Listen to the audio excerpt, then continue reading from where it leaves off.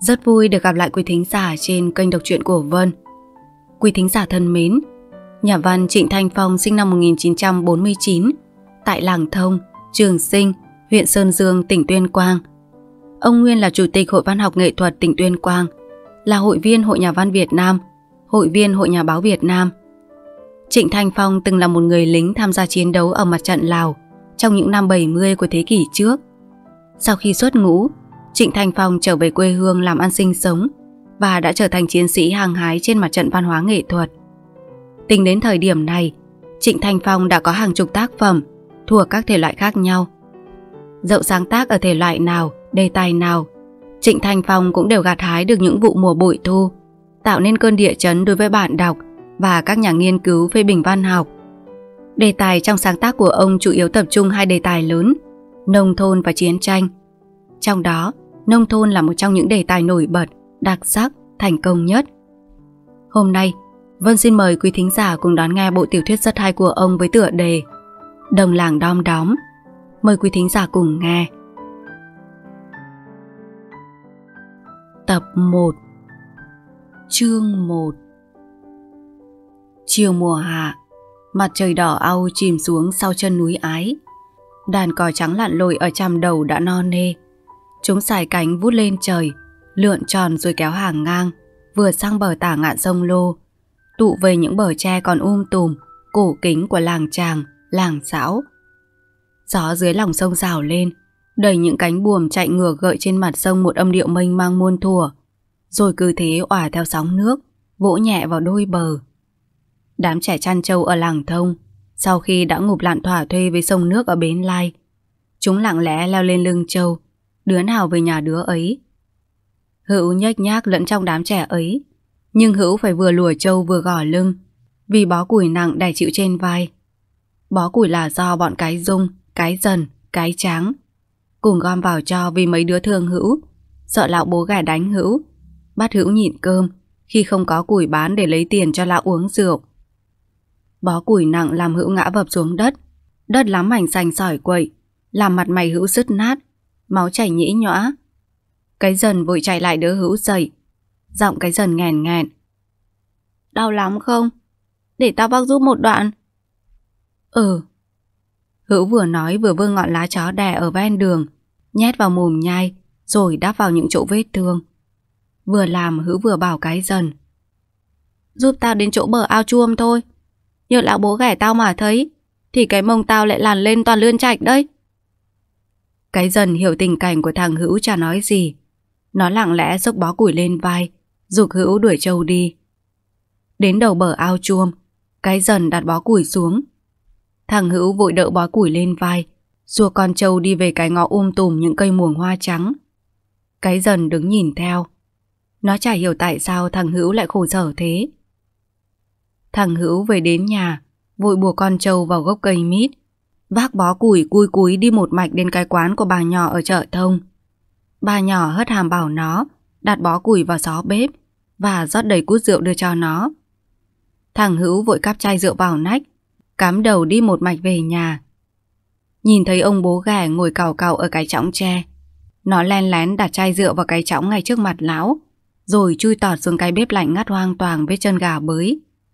Nó tần ngần đang trực vơ mấy cái đầu củi trụm lại để nhóm lửa, thì giọng lão bố ghẻ như thanh sắt nguội. Lại đây! Thằng hữu lón thón chạy đến khoanh tay quỳ trước mặt lão. Dạ, bố sai bảo gì nữa ạ? Bảo sai cái con mẹ mày. Tao có uống rượu xuông bao giờ đâu. Dạ, nhưng cái móm hết mất lạc rồi ạ. Hết với còn cái con mẹ mày. Ra ruộng của hợp tác mà nhổ về luộc cho tao. Dạ, bố bảo con đi ăn trộm, lúc còn sáng trời thế này sợ lắm. Ông chủ nhiệm mà bắt được thì chết. Chết à? Sống à? Vừa lào bào, lão bành vừa bớ cái rùi đục vùng dậy. Thằng hữu tái mặt vội co cẳng chạy. Nó cắm cổ chạy một mạch đến đầu bờ ao chuông, thì cái dần vẫn lù lù đứng đấy. Thấy mặt thằng hữu cắt không ra máu, cái dần hấp tấp hỏi. Làm sao? Có việc gì mà chạy mất mật thế? Không có đồ cho lão bành nhắm rượu. Lão ấy đuổi đánh. Lão ấy bắt tao ra ruộng của hợp tác, nhổ trộm lạc về cho lão uống rượu. Tao không làm lão ấy đánh. Nói rồi thằng Hữu ôm mặt khóc tu tu. Cái dần ngậm ngùi bảo. Tao biết rồi. Nếu không kiếm được cái gì cho lão bây giờ, thì đêm nay mày ngủ ở đâu? Mày cứ chui vào bụi chuối náu đi. Tao về nhà xem có thứ gì tao lấy cho. Nói rồi cái dần quay mặt đi. Nó vừa đi được vài bước, thì thằng Hữu gọi giật lại. Thôi, tao biết ơn mày, nhưng mày đừng về lấy trộm cái gì ở nhà. Bầm mày biết la cho lại khổ. Và mày làm thế tao khỏi bị đòn của lão bành thật. Nhưng cuối cùng chúng mình vẫn phải làm cái việc ăn trộm. Việc ăn trộm là xấu lắm. Lúc bố bẩm tao còn sống, bố bẩm tao bảo thế. Từ ngày bố bẩm tao chết, chị Sơn tao đi lấy chồng. Ở với lão Bành tao cực lắm. Nhiều bữa phải nhịn cơm, nhưng tao không bao giờ đi ăn trộm ăn cắp. Mà thôi, tao cũng không chạy náu nữa. Tao cứ về cho lão bảnh đánh chết tao đi. Tao chết, có khi lại được gặp bố bầm ở dưới âm ti còn sướng hơn sống cảnh này đấy. Mà nói vậy thôi, lão bành cũng chả dám đánh chết tao đâu. Vì có trận lão ấy đánh tao đau quá. Bà nhỏ chạy đến đỡ. Lão ấy gầm ghè. Bà nhỏ dọa báo công an bắt đi tù. Lão ấy vội bỏ ngay cái gậy xuống. Lão ấy sợ đi tù lắm. Nhưng bây giờ mày về lão ấy đang trong cơn thịnh nộ. Lại không có ai ngăn cứ cái rủi đục lão ấy nệt. Mày không chết thì cũng thành thân tàn ma dại. Nghe tao, mày cứ chui vào bụi chuối náu đi. Tao về nhà có cái gì ăn được. Tao xin bẩm tao để mày mang về cho lão ấy. Lão ấy khỏi đánh đòn. Tao không ăn trộm đâu mà sợ. Bẩm tao cũng dễ tính lắm. Và cũng ghét người hay ăn trộm lắm. Mày cứ tin tao đi. Giọng cái dần nỉ non. Thằng Hữu tròn mắt nhìn cái dần. Rồi lặng lẽ chui vào vườn chuối. Cái dần nhìn theo nó rồi quay bước đi về phía nhà mình. Nó vừa đi được mấy bước thì lão bành ba cây rủi đục sừng sộ chạy đến. Cái dần hỏi trộ. Sắp tối rồi, ba còn cầm dùi đi đuổi cái gì thế? Mày có thấy thằng Hữu chạy ra đây không? Dạ có. Cái dần tần ngần, rồi chợt nhớ lời thằng Hữu bảo lão bành rất sợ công an. Cái dần lại nói như máy. Cháu thấy thằng Hữu chạy thục mạng, suýt nữa còn đâm đầu vào cháu.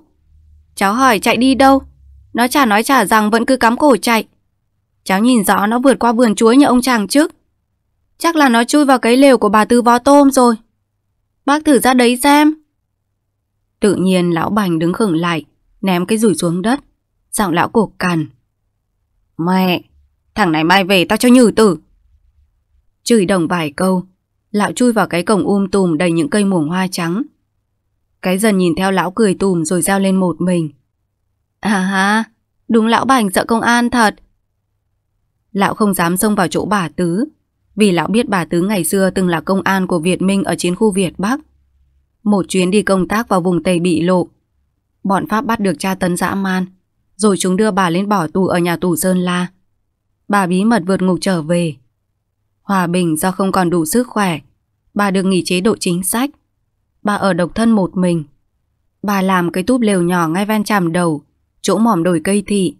Sớm hôm kéo vó tôm và chăn thêm đàn vịt cốt để cho vui và có thêm đồng tiền mua mắm mua muối. Nắm được điểm yếu của lão bành, cái dần như tìm ra được một lối đi để cứu thằng hữu, thoát khỏi cảnh sống bị đòn roi của lão bành. Nó reo lên một mình và cúi đầu chạy một mạch về nhà. Thấy nó tất tả, bầm nó vội hỏi. Mày đi đâu mà như ma đuổi thế hả con? Cái dần vội xà vào chỗ bầm đang ngồi thái rau chuối cho lợn. Nó ghé sát vào tay bầm thì thào.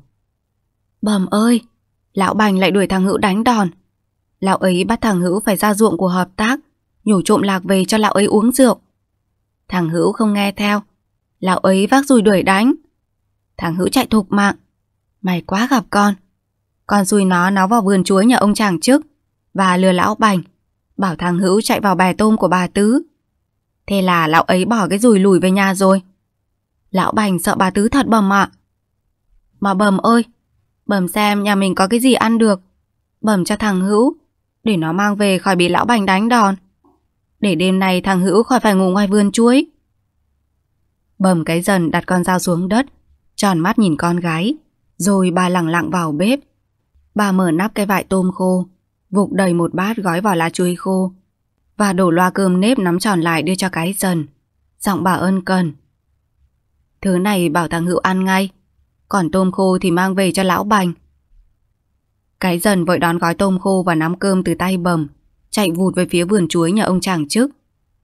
Nhìn theo con, bà dậu thở dài. Bà cảm động vì con gái bà còn bé mà đã biết xót thương trước hoàn cảnh của người khác. Bà Tần ngần nhớ lại ngày xưa. Bà rất thương bố thằng Hữu, nhưng ông rời không xe duyên, nên hai người không về với nhau để nấu cùng một nồi cơm được. Ông ấy làm bạn với bà Cúc ở thông thượng, nhưng vẫn giữ mối quan hệ thân tình với gia đình bà. Hai nhà coi nhau như anh em. Năm Tây đốt làng, ông ấy đau chân chạy không kịp bị nó bắt được. Chúng nói trói ông như trói con lợn quăng vào đống lửa. Khi bọn Tây rút đi, dân làng về, thân thể ông ấy cháy nhem như bị thui. Bà Cúc một tay cắp thằng Hữu, một tay dắt cái sơn cứ thế kêu gào. Tàng lễ cho chồng được mộ yên mả đẹp, mình bà một nách hai đứa con. Lặn lội đầu hôm gà gáy, chặt chiêu làm lụng nuôi nhau. Tàn tiện mãi, mẹ con bà cũng dựng được ngôi nhà nhỏ gọi là có chỗ ăn chỗ ở và tậu được con trâu để làm đầu cơ nghiệp. Mẹ con bà đang yên ổn làm ăn thì lão bảnh ở đâu thậm thụt đến. Bà chối từ nhưng lão ấy cứ trơ ra. Lão năn nỉ như người cầu xin. Bà động lòng thế là lão được thể cứ ở lì đấy. Một phần vì bà thương hại lão, một phần do hoàn cảnh, bà cũng muốn con lão làm cái cột để cho hai đứa con bà dựa. Ai ngờ bà bị cảm mất đột ngột. Bà khổ đến lúc chết. Khi làng xóm khiêng bà từ đám mạ về, chân tay còn lấm bùn đất. Bà không kịp trăng trồi về con cái được câu nào. Bà cứ lịm dần như người lịm vào giấc ngủ. Bà mất, lão bành sinh đốn dần. Lão lâm vào cờ bạc rượu chè. Gia tài bà để lại lão bán dần. Bán đến cả từng cái bát ăn cơm, cái chén uống nước. May chỉ còn lại con trâu lão không bán được, vì con trâu đã đóng góp vào tài sản của hợp tác xã. Không còn thứ gì để đổ vào chai cút, lão quay ra đánh chửi chị Sơn và thằng Hữu. Chị Sơn cũng là người cứng rắn, nhiều chuyện vô lý chị chống lại quyết liệt. Chị còn dọa nếu lão không biết điều, chị sẽ đuổi lão ra khỏi nhà. Có lần chị đang ngồi băm rau lợn, lão bành từ đâu hùng hổ về, vác dùi xông vào đánh chị. Sẵn con dao thái chuối, chị đừng chống nẹ giọng rắn chắc. Đụng vào tôi là tôi chém. Ai ở nhờ nhà của bố mẹ tôi mà không tử tế là tôi đuổi. Thấy thế mình yếu, lão bành đành lún. Nhưng từ ngày chị Sơn đi lấy chồng, lão lại đâu đóng đấy. Lão cứ thượng cẳng chân hạ cẳng tay với thằng Hữu. Có lần chị Sơn ở nhà chồng về bắt gặp cảnh ngộ lão đang hành hạ thằng Hữu. Chị can ngăn, lão lạnh lùng. Trước đây chị còn ở nhà, chị nuôi nó tôi kệ. Bây giờ chị đi lấy chồng rồi, tôi nuôi nó, tôi phải dạy bảo. Chị bênh em chị, chị mang đi hoặc về đây mà nuôi nhau. Chị Sơn nhìn em nước mắt òa ra mà vẫn đành phải bấm bụng. Từ bữa ấy, lão cứ thẳng tay hành hạ thằng Hữu.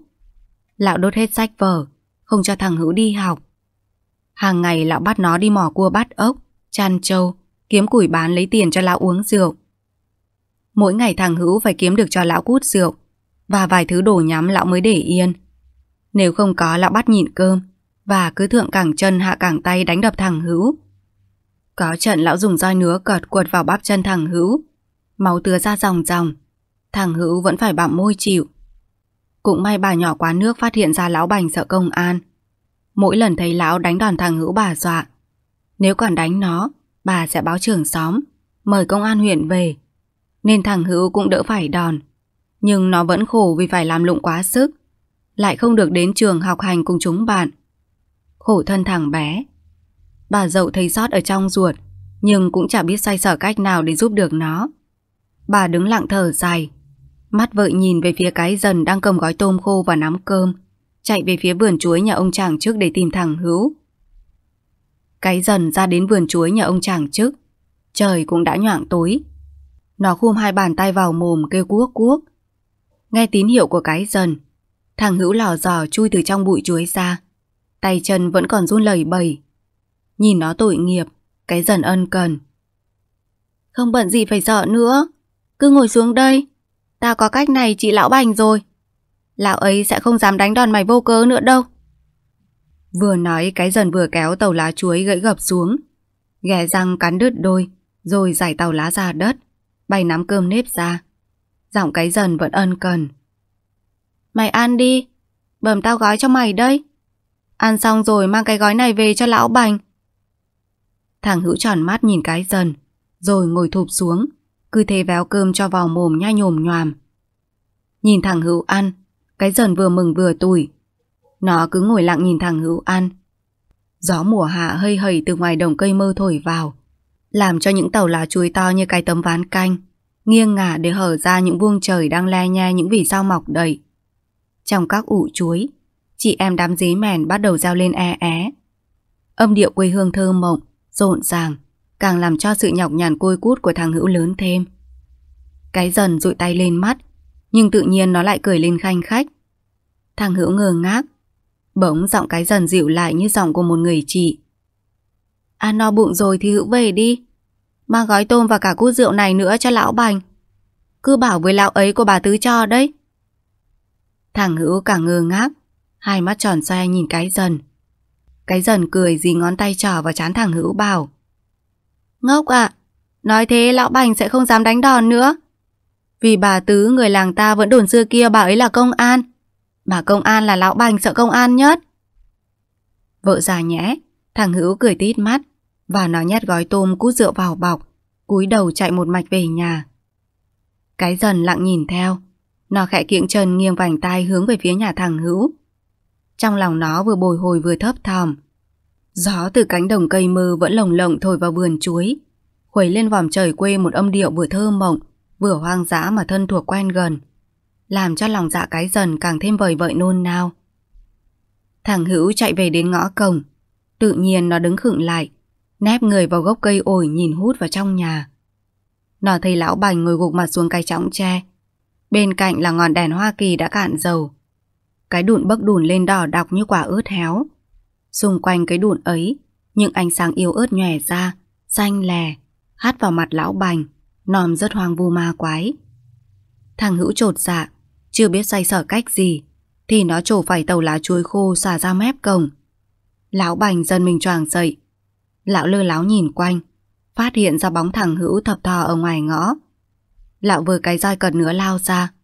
Lão túm lấy gáy thằng hữu, nghiến răng rít lên như con chó dại. Tưởng mày bỏ được cái nhà này suốt đêm nay. Tay lão vùng cao cái roi cật nữa. Thằng hữu có rúm người, nhưng nó vẫn bật ra được câu nói. Dạ, con đi tìm thức ăn để cho bố nhắm rượu chứ có đi đâu. Thức ăn, thức nhắm đâu? Mày bỏ ra đây. Không có, tao đập cho mày như tử. Lão giảm sát vào mặt thằng hữu. Mặt lão long lên sòng sọc. Thằng hữu hai chân nam mô ngồi quỳ xuống đất. Nó lùi gói tôm và chai rượu ra đặt trước mặt lão. Nhìn thấy có đồ ăn thức uống, lão bảnh buông cái roi cười sảng sặc. Giỏi, thằng này giỏi thật. Nhưng mày lấy được những thứ này ở đâu? Dạ, dạ... Thằng Hữu lắp bắp, nhưng nó vẫn nhớ lời cái dần dặn. Nó mạnh dạn. Bà Tứ cho con đi ạ. Bà ấy đi lùa vịt về, nhìn thấy con đang mon men ra ruộng lạc. Bà ấy túm lấy cổ áo con. Con sợ quá, tròn mắt nhìn bà ấy rồi xin xỏ. Cháu đói quá, chỉ xin của hợp tác một khóm thôi. Bà tha cho cháu, đừng đưa cháu về nhà ông trưởng xóm. Bố cháu biết, bố cháu đánh đòn như tử. Bà Tứ nhìn con một lúc rồi bảo, Thôi được, đi về nhà bà đã. Bà kéo tay con dắt đi. Về đến nhà, bà ấy bảo con ngồi vào chỗ cái bàn. Bà ấy đi vào trong buồng. Con ngồi một mình lơ láo nhìn quanh. Nhà bà ấy có rất nhiều cây hũ non đẹp lắm. Cây nào cũng bị nút lá chuối rất chặt. Còn đoán là hũ đựng mắm, đựng rượu và có cả một thúng trứng vịt đầy nữa. Nhìn ra chỗ đầu giường của bà ấy, còn thấy một con dao găm, một khẩu súng chỉ ngắn bằng một gang tay. Giống như khẩu súng diêm của anh Đức, anh Hòa nhà bác Đà, bác Tráng ấy. Hay thật bố nhỉ? Bà tứ già rồi mà vẫn còn chơi súng diêm. Lão Bành tròn mắt nhìn thằng ngữ lảo bào. Diểm với rúa cái con mẹ mày. Súng lục đấy. Từ dày đừng có bén mảng đến đấy nữa. Nói rồi, lão thỏ tay xé tỏa cái gói lá chuối bày lên cây trọng tre. Lão lại cười hhành hạch và bảo thằng Hữu. Mày lục xem, trong chỗ xó bếp còn củ sắn nào, thổi lửa bếp lên lùi chín mà ăn. Vừa nói, lão vừa lôi cái cút, tút bỏ cái nõ ngô, rồi đổ rượu ra bát ngửa cổ uống ửng ực. Hai tay lão nghèo ngào nhúp những con tôm khô, va vào mồm nhai ngồm ngoàm. Vừa ăn vừa uống, lão vừa lảo bầu như chửi rủa ai. Những giây phút ấy, thằng Hữu biết là lão đang khoái trá. Thằng Hữu lẳng lặng xuống bếp. Nó lầm lụi nhặt những đầu củi cháy dở nhỏ nhem, trụm lại rồi nhóm lửa lên. Ngọn lửa nheo nheo rồi cũng bùng lên sáng loáng. Cái dần ở ngoài vườn chuối, thấy lửa trong bếp nhà thằng Hữu đá đỏ. Nó dán chân lại gần ngó vào, thầy lão bành đang ngật ngưỡng bên cái chóng tre với bát rượu. Nó biết mọi việc đã ổn. Tối nay lão bành sẽ không đánh đòn thằng Hữu nữa. Thằng Hữu cũng đã no bụng, chắc là đêm nay nó sẽ được ngủ yên. Cái dần khẽ gión chân đi một mạch về nhà. Thằng Hữu cứ ngồi y trước bếp lửa, để chờ xem lão bành còn sai khiến gì. Nhưng đầu củi cháy hết, than lửa nguội dần, ngọn đèn cũng cạn dầu tắt ngấm. Lão bành say rượu, cục đầu xuống cái trọng tre ngáy ò ò. Nòm lão lúc này tự nhiên trong lòng thằng Hữu, cứ tấy lên nỗi hận thù. Từ ngày mẹ chết, chị Sơn đi lấy chồng. Lão bành đã dội lên thân thể nó biết bao nhiêu trận đòn, biết bao vết sẹo còn hẳn trên mông đít, trên bắp tay, cổ chân nó. Ruột gan thằng Hữu tự nhiên cứ lộn lên, mồ hôi nó vã ra. Nó với con dựa cùn ở xó bếp, vùng dậy định xả cho lão bành một nhát, rồi trốn khỏi cái nhà này, cho hết nhục hết khổ. Nhưng nó vừa vùng dậy, chạm tay vào cái chuôi con dựa, thì tự nhiên tay chân nó cứ mềm nhão ra. Nó lại ngồi thụp xuống nền bếp. Trong bếp chỉ còn có một hòn than đỏ tái như cái mỏ con gà bị cắt tiết. Lúc này chỉ có nó và hòn than nhìn thấy nhau. Gió trời phay phẩy, làm cho hòn than nhập nhòe. Cho bụi vào mũi lờn vờn quanh thằng Hữu. Thằng Hữu mở căng mắt, và trong ánh sáng nhập nhòe của hòn than đang mại giữa bếp, nó như nhìn thấy bố bầm nó đang về ngồi cùng với nó. Bố bầm nó mua rất nhiều quả bánh, quần áo đẹp và sách vở. Nó thấy bàn tay bầm ân cần ôm nó vào lòng và sờ nắn khắp người. Còn bố thì cứ đứng nhìn. Chắc là bố sung sướng lắm. Thằng Hữu định giao toáng lên thì tự nhiên hai cái hình ấy tan biến. Chỉ có mình nó đối diện với cái bếp than đầy cho bụi. Đàn mũi đói vò ve và ở ngoài cái chõng tre, lão bành vẫn ngáy ò ò. Thằng Hữu thở dài, rồi xoa chân chui vào cái nong ở xó nhà co chân nằm. Nó chằn chọc, không tài nào nhắm được mắt. Hết nhớ bố bầm, nhớ chị Sơn. Nó lại nghĩ đến con cái dần, cái tráng. Nó cũng không rõ nguyên cớ gì mà mấy đứa lại hay giúp đỡ nó. Nhất là cái dần, hay là bọn nó thương hại. Hai tròng mắt thằng Hữu nước cứ giàn ra. Nó úp mặt xuống cái nong rồi thiếp đi. Cái dần lội từ vườn chuối về nhà, vội xà vào bếp chỗ bầm nó đang nấu nướng. Giọng nó hề hà. Ổn rồi bầm ạ, hôm nay lão bành không đánh đòn thằng Hữu đâu. Cái bài con bày cho thằng Hữu hay thật bầm ạ. Bà dậu tròn mắt nhìn cái dần. Con bày cho nó cái bài gì? Có thế mà bầm cũng không biết. Con ra vườn chuối, gặp thằng Hữu, con đưa nắm cơm cho nó ăn. Chắc là nó đói, nó phồng mang trợn mắt ăn. Ăn như không biết có con đứng ở đấy. Ăn xong nó bảo, ngon quá, có còn nữa không? Con nhìn nó tự nhiên nước mắt cứ chảy ra. Con bảo hết mất rồi, ăn tạm vậy đã. Bây giờ mang cái gói này về cho lão bành. Không có hai cái mông đít còm, lại không đủ chỗ cho lươn chạch bò. Thằng Hữu lại tròn mắt nhìn con, rồi ôm cái gói tôm cui cúi đi. Con dán chân đi theo về đến tận gốc cây mít nhà nó. Nhìn qua ánh đèn xanh lè lè, thầy lão bành trồm từ chỗ cái chõng che dậy. Nhưng lão ta không đánh thằng Hữu, mà vô lấy cái gói lá chuối trên tay nó, rồi ngồi ôm lấy cây chõng. Lão ta xe cái gói ra, và nghiêng cút đổ rượu ra bát, ngửa cổ uống, rồi cứ thế cười sang sặc một mình. Thằng Hữu chắc biết mình đã được yên thân. Nó rán rén đi xuống bếp nhóm lửa. Lửa trong bếp bùng lên một lúc, còn thấy nó ngồi khều than. Chả biết nó làm gì, nhưng chắc chắn đêm nay sẽ không bị đánh đòn nữa đâu. Nghĩ vậy con rén chân đi về bầm ạ. Nói rồi, cái dần lại thở dài nhìn bầm. Bà dậu chép miệng bảo con. Mày còn bé, mà hay tỏ việc của người khác. Lại hay cả nghĩ. Mai này lớn khổ lắm đấy con ạ. Cái dần bĩu môi. Việc thằng Hữu nó khổ. Lão Bành hay đánh đòn nó. Làng mình ai mà chả biết. Nhưng lạ một điều là con chả thấy ai dám ra bênh nó. Thôi nào con, mày cứ thế là leo vào việc của người lớn rồi đấy. Chuyện của người lớn là thế nào hả bầm? Cái dần thắc mắc. Bà dậu thấy khó giải thích.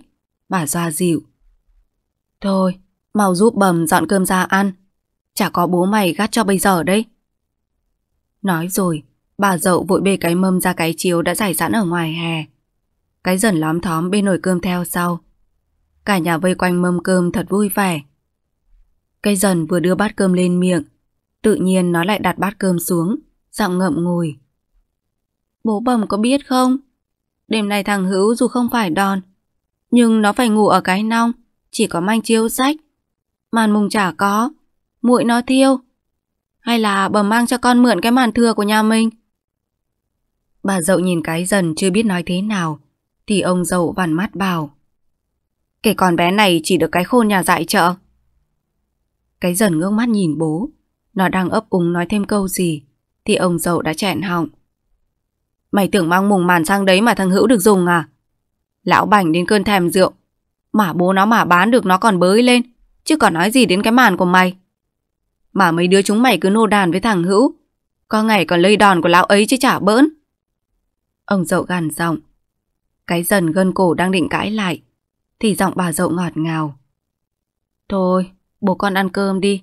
Chuyện của nhà người ta, mang về nhà mình làm gì? Nói vậy, nhưng bà vẫn không giấu được tiếng thở dài. Bà nhẹ tay múc thìa canh đổ vào bát, nâng lên ngụm một ngụm, cho nó trôi đi cái cục buồn đang chạy ngang ở cổ. Cái dần không nói gì nữa. Nó cúi mặt ăn hết bát cơm, rồi lặng lẽ đặt bát đứng dậy. Cả nhà ăn xong, cái dần loay hoay dọn mâm rửa bát. Công việc xong nó lấy sách vở ngồi vào bàn học bài. Mở vở ra trước mặt, nhưng nó không tài nào dịch ra được chữ nghĩa. Hình ảnh thằng Hữu ở cái vườn chuối, ngồm ngoàm vừa đứng vừa ăn, và cái nong với một manh chiếu đã sờn sách, nó đang nằm giữa đàn mũi vo ve. Cứ ám ảnh làm đầu óc cái dần rối bời tối om om. Cái dần cứ vò đầu gãi tai máy, rồi nó vặn nhỏ ngọn đèn, lững thững đi ra đầu hè, tựa vào cái cột nhà nhìn ra cánh đồng cây mơ tối mù mịt. Nó càng thương thằng Hữu. Ngày mẹ thằng Hữu còn sống, buổi tối nào hai đứa cũng cùng ngồi học chung nhau dưới ngọn đèn dầu. Thằng Hữu rất sáng dạ, bài học nào nó cũng thuộc rất nhanh và rất sâu. Những bài khó cả lớp phải ngậm tam, có thằng Hữu là đâu lại bảo đấy.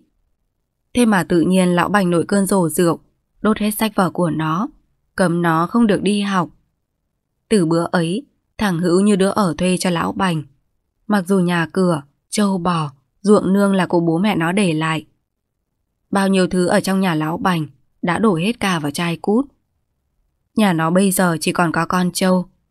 May con trâu đã cổ phần vào hợp tác xã. Nếu không lão bành cũng mổ bán uống rượu hết rồi.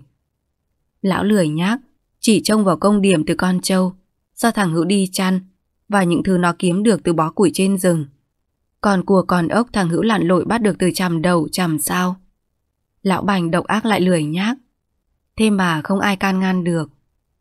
Cả bác bếp thìn đội trưởng hợp tác xã cũng phải chịu. Bác ấy phân công đi làm việc gì, lão ấy cũng cáo ốm. Ốm mà lão ấy vẫn ăn hàng giá cơm, uống hàng chai rượu. Tiền ấy nếu lão rẻ rèn, làm gì thằng Hữu phải khổ, phải bỏ học. Lão ác vậy, sao thần linh ở cái miếu mỏ không vật chết lão đi? Và cả linh hồn thiêng của bố mẹ thằng Hữu nữa. Sao hai bác ấy không hiện về, bóp cho lẻ cổ lão ra? Càng nghĩ, cây dần càng căm lão bành, và càng thông cảm thương mến thằng Hữu. Nó cứ đứng lặng tựa lưng vào cái cột, nhìn ra cánh đồng cây mơ. Gió đêm tháng hạ thổi vào mái hiên rào rào, nhìn hút ra cánh đồng cây mơ tối mù mịt, và những bụi bờ đom đóm nhập nhòe bay lượn. Có nhiều con đom đóm to giống như cái bóng đèn, cứ nhập nhòe lúc mờ lúc tỏ. Thỉnh thoảng nó lại nối những hàng dài, như kéo đèn ông sao, bay về chỗ bãi tha ma ở gò hốn. Cái dần căng mắt nhìn theo đám đom đóm, đang chập chờn bay về chỗ bãi tha ma. Chỗ ấy có cả mà bố bầm thằng hữu. Ma hay là đom đóm? Trong đầu cái dần nảy ra những suy nghĩ liều lĩnh. Nó nhìn trước nhìn sau, rồi khẽ rén chân đi về phía bãi tha ma. Nó đi từng bước rất khẽ. Gần đến chỗ mà bố bầm của thằng hữu, tự nhiên tóc gáy nó cứ dựng đứng lên, Khắp người nó lạnh toát, như có một tinh lực lạ kỳ nào ám vào. Nó đứng khựng lại, hai tay vồ vào bờ ruộng. Gió trời dạo trên đầu rào rào. Nó cố căng mắt ra để nhìn thật kỹ xem là ma hay là đom đóm. Những đốm sáng vẫn cứ nhập nhòe dần lên dần xuống. Rồi bất thần một đốm sáng xanh lét vụt lên từ phía ngôi mộ của bầm thằng hữu, cứ nhập nhòe bay về chỗ cái dần. Cái dần định co càng chạy, thì cái đốm sáng ấy đậu ngay vào bím tóc của nó. Cái dần vội khủa tay phủi đi, thì cả thân hình con đom đóm tự nhiên nằm lọt vào giữa lòng bàn tay. Con đom đóm thật, không phải là ma đâu. Cái dần hoàn hồn, nó khum bàn tay cho con đom đóm đậu. Ở trong lòng bàn tay cái dần, con đom đóm thấy yên tĩnh. Nó tự tỏa ra ánh sáng nhấp nháy, làm cho cái dần nhìn thấy cả những đường gà bới chi chít trong lòng bàn tay của mình. Tự nhiên cái dần rất thích thú. Nó không còn cảm giác sợ hãi nữa. Nó giao thầm một mình. Có cách rồi, có cách rồi hữu ơi. Và cứ thế, nó cắm đầu đi một mạch về nhà. Về nhà, thấy bầm vẫn ngồi khều lửa bên nồi cám đang sôi sùng sục. Cái dần nhón chân ôm quàng lấy vai bầm giọng hồn hền. Bầm ơi, con có cách này hay lắm. Con sẽ giúp thằng Hữu tiếp tục học cùng với con. Nó sẽ bảo cho con những bài học khó. Bà dậu tròn mắt nhìn con, giọng bà vừa ngỡ ngàng vừa yêu thương. Cả xóm còn chả có cách gì. Chứ trẻ nhãi như con mà khuất phục được lão bành à.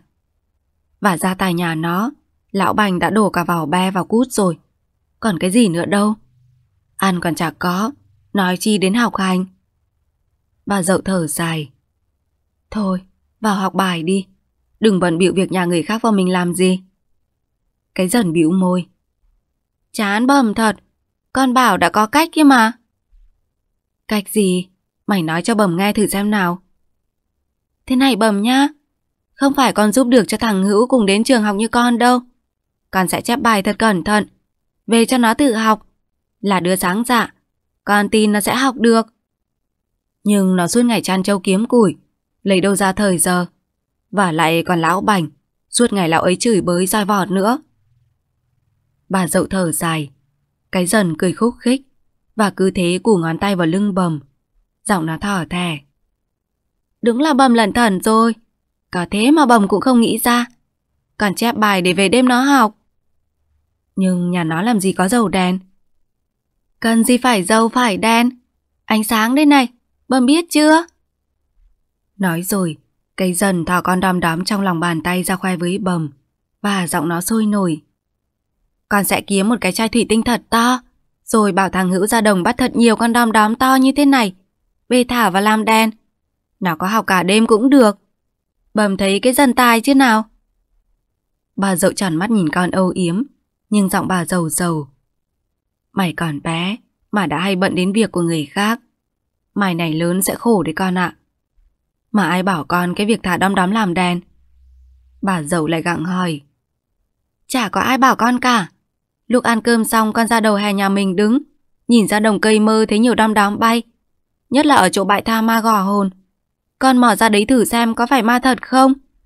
Đột nhiên con đom đóm này ở đâu xả tới, bấu vào bím tóc con. Con vốc nó vào lòng tay, thấy nó sáng nhấp nháy. Thế là con nảy ra việc này để giúp thằng Hữu đấy bà mạ. Trời Phật ơi! Bà dậu lại tròn mắt nhìn con. Trong lòng bà lại hiện ra những hình ảnh về bố thằng Hữu Bà cho là trời Phật xe tư kết mối ở kiếp này đây. Giọng bà nghèn nghẹn. Thôi, con vào học bài cho thuộc mà còn đi ngủ. Cái dần thích thú. Nó không biết được những điều sâu thẳm trong lòng bầm nó. Nó chỉ thấy như vậy là bầm nó đã đồng tình với những việc nó sẽ làm để giúp đỡ thằng Hữu. Nó cười tít mắt, rồi lặng lẽ vào bàn khêu to ngọn đèn ngồi học bài. Khi con chim còm cõi từ trên đỉnh núi châm, rớt lại những tiếng kêu dài qua đêm, Khom khom, khắc khắc. Cái dần đã thức dậy. Nó lúi húi ra chỗ chính nước ở trái bếp, múc nước giếng đổ đầy vào cái chum. Rồi lấy chổi quét dọn sạch nhà cửa. Xong việc nó rửa mặt mũi chân tay, vục đầy bát cơm nguội ăn miếng nhá miếng nhuốt, rồi cắp sách đi học. Nó vừa ra khỏi cổng, thì gặp thằng Hữu lếch thách một tay cầm cái câu, một tay sách sâu ếch từ lùm cây dưới dọc bờ ao chuông đi về. Cái sâu ếch dài lê thê, những con ếch béo múp bị buộc ngang bụng chồng lên nhau. Thỉnh thoảng lại có cẳng đạp, dãy đành đạch, làm cái dây cứ thổi ra chạm vào đầu gối thằng Hữu. Thằng Hữu cúi xuống, thít chặt mối dây lại. Nó ngẩng mặt lên thì thấy cái dần đang cắp sách từ trong ngõ đi xa. Thằng Hữu vội đứng khựng lại. Nó định ngoảnh mặt đi, thì giọng cái dần hồn nhiên. Eo ơi, câu được nhiều ếch nhỉ? Thế này lão bành lại say khướt cả ngày cho mà xem. Lão ấy say thì mày lại khổ. Hay là giấu bớt đi, để nhờ bầm tao mang ra chợ Phan Lương bán giúp lấy tiền, mua bút mực mà đi học. Thằng Hữu tròn mắt nhìn, giọng cái dần vẫn hồn nhiên. Mày nghe tao đi. Thằng Hữu chả nói năng gì, nói lắc đầu rồi lại cui cúi đi. Cái dần gọi với theo. Chiều nay thả châu ở đồng mẫm nhá, nghe rõ chưa? Thằng Hữu không nói gì chỉ ngoái cổ nhìn, giọng cái dần như gào lên. Nhớ nhá! Đám cái dung, cái tráng, cái thường, thằng Tùng, thằng Phú cũng nhổ ra khỏi ngõ. Chúng nối hàng tung tăng đi đến lớp học. Vừa đi chúng vừa hát. Đây một mùa xuân, trăm hoa hé tưng bừng. Cái dần bảo. Chúng mình hát bé thôi, kẻo thằng Hữu nó tuổi thân. Nghe cái dần nói thằng Tùng ngẩn người. Ừ nhỉ, bây giờ tao mới nhớ thằng Hữu phải bỏ học. Khổ thân nó quá. Lão banh này ác thật. Để rồi bọn tao lừa đánh thòng cho lão ấy vấp ngã què cẳng đi. Khỏi đuổi đánh thằng Hữu được. Chúng mày đừng dại. Cách ấy mà lộ ra thì thầy giáo đuổi học cả lũ. Tao đã có cách để cho lão ấy không dám đánh đòn thằng Hữu. Mà thằng Hữu vẫn học được bài như tụi mình. Thế mày bày ra cho tụi tao nghe xem nào. Bí mật. Cái dần cười toét miệng. Đám thằng Tùng ngơ ngác. Nhưng chúng cũng không hỏi gì thêm nữa. Lại nối hàng vừa đi vừa hát. Đây một mùa xuân. Mặt trời cũng bắt đầu hiện lên, lấp ló sau ngọn núi châm, tỏa xuống cánh đồng cây mơ những vệt nắng óng ánh. Tiếng kẻng của hợp tác xã từ nhà ông bếp thìn cũng bắt đầu gióng lên vọng tràn làng xã. Buổi trưa về, khi mặt trời lệch bóng khỏi đỉnh đầu, nắng đổ xuống mặt dòng sông lô đỏ như. Từ các ngõ, đám trẻ bắt đầu phi lên lưng châu xong về đồng mẫm. Cái dần cắp nón dắt châu ra cổng, nhưng nó không cưỡi châu, mà dòng dây chạc cho con châu đi trước, nó theo sau. Vừa đến đầu cống thông thì thằng Hữu cũng cưỡi châu nhổ ra. Nó đeo cái áo đã rách tướp ở bờ vai, đầu đội cái nón chỉ còn có nửa vành. Nhìn thấy cái dần mặt nó thử thẫn, hình như nó muốn nói điều gì, nhưng cổ cứ nghẹn lại. Thấy nó thử thẫn, cái dần ân cần hỏi. Trưa nay ăn cái gì vào bụng? Có dầu bớt được con ếch nào không? Hay lão bành cho vào cút hết rồi? Đói bụng hay sao mà no mày giờ dệt như ma ngày ấy? Thằng Hữu vẫn im lặng, đưa mắt thử thẫn nhìn cái dần, rồi bật nhẹ cái chạc vào cổ con trâu. Con trâu té lên bám vào đội hình của cánh thằng Tùng, thằng Phú, cùng tiến về phía đồng mẫm. Cái dần lùi thủi dắt châu theo sau. Đến cổng nhà ông bếp thìn, chúng họ châu dừng lại, ngoã chạc châu vào cổ vào sừng rồi lùa ra đồng mẫm. Việc xong từng tốp, chúng rủ nhau tàn vào các bụi cây chơi ô chơi quay. Thấy thằng Hữu cứ đứng tần ngần cạnh đám thằng Tùng thằng Phú, đang cuốn dãy ra quay quay. Cây dần vẫy tay rồi chui vào tán cây vải nhà ông bếp thìn. Thằng Hữu lặng lặng đi theo. Hai đứa cùng ngồi tựa lưng vào gốc vải nhìn ra đồng mấm. Nắng chưa hề trói trang, làm cho lưng những con trâu ánh lên nhóng nhánh. Những con sáo đen từ đâu xả xuống. Chúng xòe đuôi xòe cánh rồi díu dít rỉa lông, vuốt cánh cho nhau. Lại có một con sáo mỏ ngà, tự nhiên dã đàn xòe cánh, nhảy lên chỗ cái sừng con trâu đứng một mình. Nhìn con sáo tự nhiên cái dần bảo. Hữu ơi, nó mày giống con sáo đang đậu một mình kia thế? Sao mày không đánh quay về đám thằng Tùng mà vào đây? Hay là mày muốn chơi buôn chơi chắt với bọn tao? Thằng Hữu đảo mắt nhìn cái dần xùy một tiếng. Tao không có quay, mà mày vẫy tay ra hiệu cho tao lại đây là gì? Cái dần cười hỏi lại. Thế quay của mày đâu? Lão Bành lấy đổi cho thằng dụ nhà ông cầu để lấy cút rượu mất rồi. Thằng Hữu thở dài ngẩn ngơ. Cái dần gàn giọng bảo. Cái lão Bành này thật quá thể. Tao phải bày với bọn thằng Tùng cách gì để trị bớt cái thói độc ác của lão ta mới được. Chả có cách gì đâu. Chúng mày cứ kệ lão ấy. Tao sẽ đéo được con quay khác. Chúng mày dở cách gì mà lão ta biết. Thì cái mông của tao lại hàn đầy lươn chạch đấy. Thằng Hữu im lặng. Cái dần bặm môi và như sực nhớ ra trong túi đang còn mấy củ khoai nướng. Cái dần lôi ra dúi vào tay thằng Hữu. Thằng Hữu vồ lấy cho vào mồm nhai cả vỏ rất ngon lành. Nhìn thằng Hữu ăn, nước mắt cái dần muốn ứa ra. Nó vỏ tay lên đầu rồi ân cần bảo. Hữu ơi, tao có cách này bày cho mày bớt bị đòn roi của lão bành, mà vẫn học được bài cùng bọn tao nhé. Mày đâu phải bà chúa, chị Sơn tao còn phải bấm bụng chịu. Mày bày cách gì hơn? Mày không tin à? Tao còn hơn bà chúa chứ chả bỡn. Thế này nhá, lão bành có một chỗ yếu. Lão ta rất sợ công an, mà công an chỗ mình có bà Tứ đấy rồi. Tao với mày sẽ cùng nhau lân la ra chỗ bẻ vó tôm. Chiều đến giúp bà ấy lùa đàn vịt về chuồng. Bà ấy sẽ quý mến. Mà khi đã được bà ấy quý mến, lão bành giờ trò độc ác. Mình tâu bà ấy sẽ can thiệp. Còn việc đi học, tao có cách rồi. Tao sẽ thưa với thầy giáo Thuyên cho mày học ngoài giờ.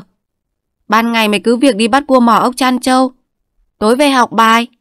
Tao sẽ chép bài thật cẩn thận cho mày học. Chỗ nào cả hai đứa cùng không biết được thì cứ đánh dấu vào đấy. Ta hỏi lại thầy Thuyên. Thầy quý mày học giỏi lại thông cảm hoàn cảnh của mày. Tao tin thầy sẽ còn có thêm nhiều cách để giúp đỡ mày nữa đấy. Nhưng học vào ban đêm, nhà tao làm gì có đèn dầu. Việc này dễ ợt. Cây dần quả quyết và ngồi sát lại gần chỗ thẳng Hữu. Tao bày cho mày nhá. Ngay từ tối nay mày ra đồng cây mơ, nhất là ở chỗ bãi tha ma gò hốn. Ở đây có nhiều con đom đóm to, mà dân làng mình cứ bảo là ma chơi ấy. Mày bắt về, thả vào cái chai thủy tinh. Cái chai tao đã kiếm được rồi. Mày sẽ có cái đèn thật tuyệt vời, mà chả sợ gì lão bảnh nhòm ngó đến, vì có ai mua đom đóm đâu. Còn bài vở, tao sẽ đưa cho mày chịu không? Cái dần hỏi, thằng hữu ngẩn người. Nó chằn mắt nhìn cái dần rồi gật đầu. Cái dần vui sướng cười toe toét, rồi lên giọng như người chị. Chịu thì mày cứ ngồi đấy cho mát. Thỉnh thoảng đào mắt non đàn trâu. Kẻo nó đắm vào ruộng mạo của hợp tác thì toi. Tao đi đánh buôn với bọn cái tráng đây. Vừa nói, cái dần vừa đứng dậy ngoài ngoài đi. Thằng Hữu nhìn theo. Trong đầu nó cứ nhập nhòe những suy nghĩ kỳ lạ trong những việc mà cái dần vừa nói ra. Lòng nó bâng khuâng và tự nhiên nó lại nhớ bố bầm, nhớ chị Sơn ra giết. Nó tần ngần đứng dậy, vừa cái nón chỉ còn nửa vành đội lên đầu, lặng lẽ đi ra đồng mẫm, thọc hang bát cua mò ốc.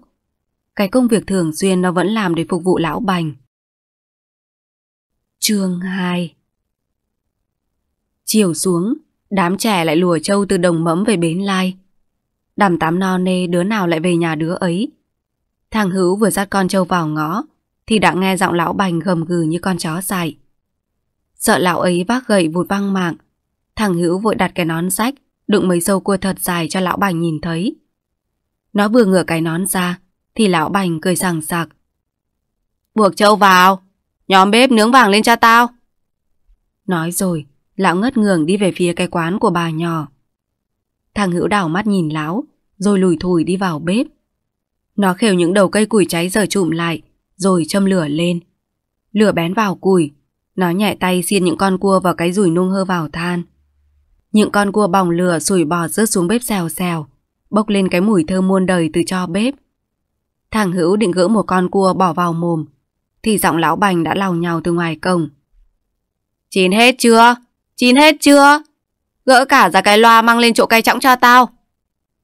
Thằng Hữu giật thót người, nhưng nó cũng kịp lùi được con cua vào cho bếp. Nó lập cập bê cái loa đầy những con cua đã nướng vàng óng, lên đặt trước mặt lão bành. Lão bảnh khủa tay rồi ngồi bê trước cái chóng. vừa xé cua nướng va vào mồm nhai vừa đổ rượu ra uống. Thằng Hữu đi giật lùi, rồi ngồi bệt vào cái nong nhìn lão ăn. Nghe lão nhai cua rôm rốp, làm nước miếng thằng Hữu cứ tóa ra. Lão bành như không để ý đến thằng Hữu nữa. Lão vừa ăn vừa uống, vừa lè nhài chửi. Thằng Hữu đã quen tai nghe bản ca nhạc muôn thuở này rồi. Nó biết khi lão bành chửi là đã đến lúc lão ta không biết gì nữa. Nó lẻn ra phía đầu nhà đi xuống bếp khởi cho, tìm những con cua nó vùi dấu lão bành. Thổi phù phù, rồi cho vào mồm nhai ngấu nghiến. Ăn xong, nó vụt mặt vào vại nước uống ửng ực, rồi lặng lẽ ra tựa gốc mít đứng nhìn trời nhìn đất. Gió từ đồng cây mơ thổi vào, hua những tàu lá chuối kêu lên rào rào. Gió kéo theo cả những con đom đóm từ chỗ bãi tha ma gò hốn, cứ lập lòe bay vào lại bay ra. Nhìn những đốm sáng lập lòe ấy, thằng Hữu lại nhớ bố, nhớ bầm. Nước mắt nó tự nhiên lại ứa ra. Nó lại thấy bên tai nó vọng về tiếng kêu than của chị Sơn ngày bầm nó chết. Và cả câu chuyện của cái dần bày ra lúc chiều, ở dưới lùm cây vải nhà ông bếp thìn nữa. Đầu óc nó cứ mung lung, nhưng rồi cứ như có người xui người sắt. Nó lững thững xách cái vỏ chai thủy tinh cái dần kiếm cho, lặng lẽ đi về phía nghĩa địa gò hốn. Những con đom đóm cứ dập dình trước mặt.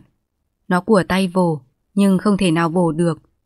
Bàn tay nó vừa chạm đến, thì những con đom đóm lại vọt cao lên. Nó cứ chạy theo vồ như ếch vờn hoa mò. Mệt quá nó bỏ lại chỗ mộ bầm nằm. Nó ngủ thiếp đi mãi đến nửa đêm. Dương đầm xuống lành lạnh nó mới tỉnh dậy. Đêm dày đặc làm nó hốt hoảng. Định co cẳng chạy thục mạng về nhà. Thì bất thần một đốm sáng xanh lè từ chỗ mộ bầm nó nhòe lên bậu vào vai nó. Nó dùng mình nhưng không thấy hoảng sợ. Nó đưa bàn tay khum lại. Con đom đóm chui vào, bò vòng quanh lòng tay nó, rồi bay vụt lên cao. Thằng hữu ngẩn người nhìn theo.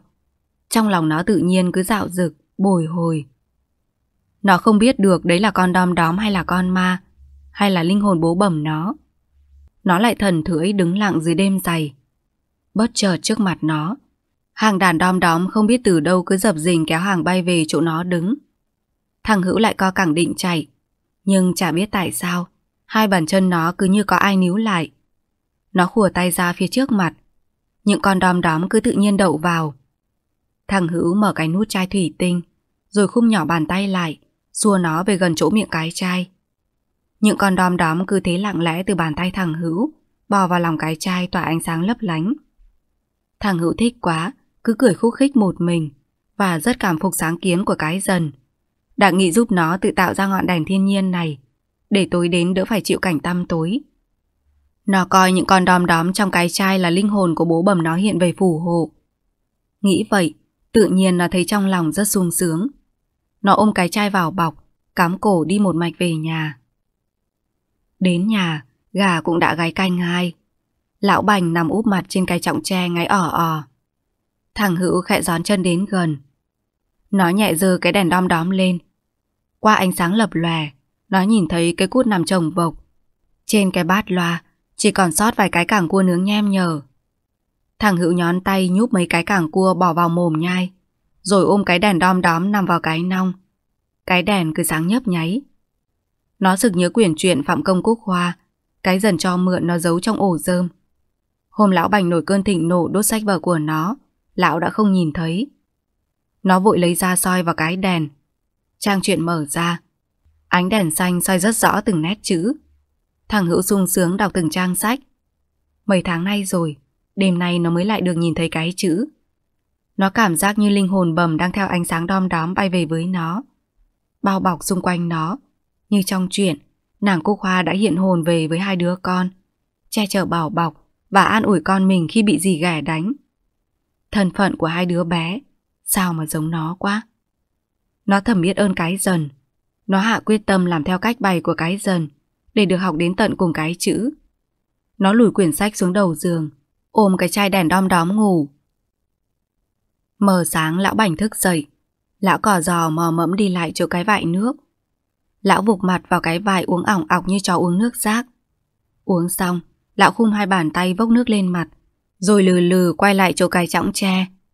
Lão đảo mắt nhìn quanh, vẫn thấy thằng Hữu nằm co quắp trong cái nong ôm cái chai thủy tinh.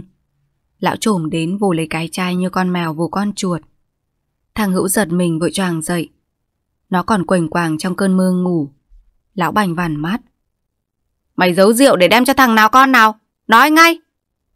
Lão trồm dậy, với cái rủi đục. Thằng Hữu vội quỳ xuống vừa khoanh tay, vừa thủ thế đỡ đòn. Nó đẩy cái chai ra trước mặt, giọng nó rành giọt. Bố nhìn kỹ mà xem, có phải rượu đâu. Đây là cái đèn đom đóm bà Tứ Vó Tôm cho con mượn đấy. Nghe tên bà Tứ Vó Tôm, tự nhiên lão bành đứng khựng lại. Cái rùi đục trên tay lão rơi phịch xuống đất, nhưng mặt lão vẫn vênh váo. Lão nghiến răng nói hít vào. Mày ra chỗ bà Tứ để làm gì? Từ nay tao cấm. Dạ, nhưng tối hôm qua lúc bố say rượu ngủ, con nghe chuộc nó kêu gian ở bờ chằm đầu. Con dập cây nứa đi soi xem, có bắt được con nào để bữa nay bố uống rượu. Thấy đuốc sáng, đám chấu chuột cứ thế nhảy trồm. Con đuổi theo. Không may vấp phải cái đám bụi cây sắn ngã rụi đầu xuống. Bỏ đuốc rúi xuống nước tắt ngấm. Con đang sờ soạng thì bà Tứ xách cái đèn từ chỗ ao làng đi lại.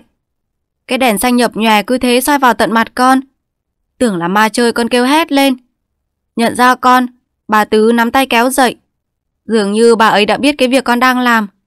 Bà Tứ bảo, cháu lấy cái đèn này mà soi. Bắt chuộc mà dùng đuốc sáng quá nói chạy, hoặc lặn hết xuống nước thì ăn nhầm chi. Nói rồi bà Tứ cầm đèn soi dọc bờ chằm. Con vồ được những một giỏ đầy nhá. Vừa nói, thằng Hữu vừa chỉ tay ra chỗ cái giỏ còn treo lùng lằng ở cái cọc sắn gần chỗ cái vại nước. Lão Bành đảo mắt nhìn, rồi lò giò đi lại. Lão thỏ tay lắc lắc cái giỏ. Thấy động, đám chậu chuộc kêu lên ỏng ọc trong cái giỏ. Lão Bành cười tít mắt. Giọng lão khổ khổ như con gà cổ thấy máy. Giỏi, thằng này thế mà giỏi. Thôi, ra cái vại rửa mặt, rồi xem có còn củ khoai nào. Rửa bỏ vào luộc ăn mà đi vào rừng rui kiếm lấy vác củi. Về đổi cho bà nhỏ lấy cút rượu. Trưa nay tao với mày cùng nhắm. Nói rồi lão lại cười khùng khục. Thằng hữu khoái chí vì nó đã lừa được lão.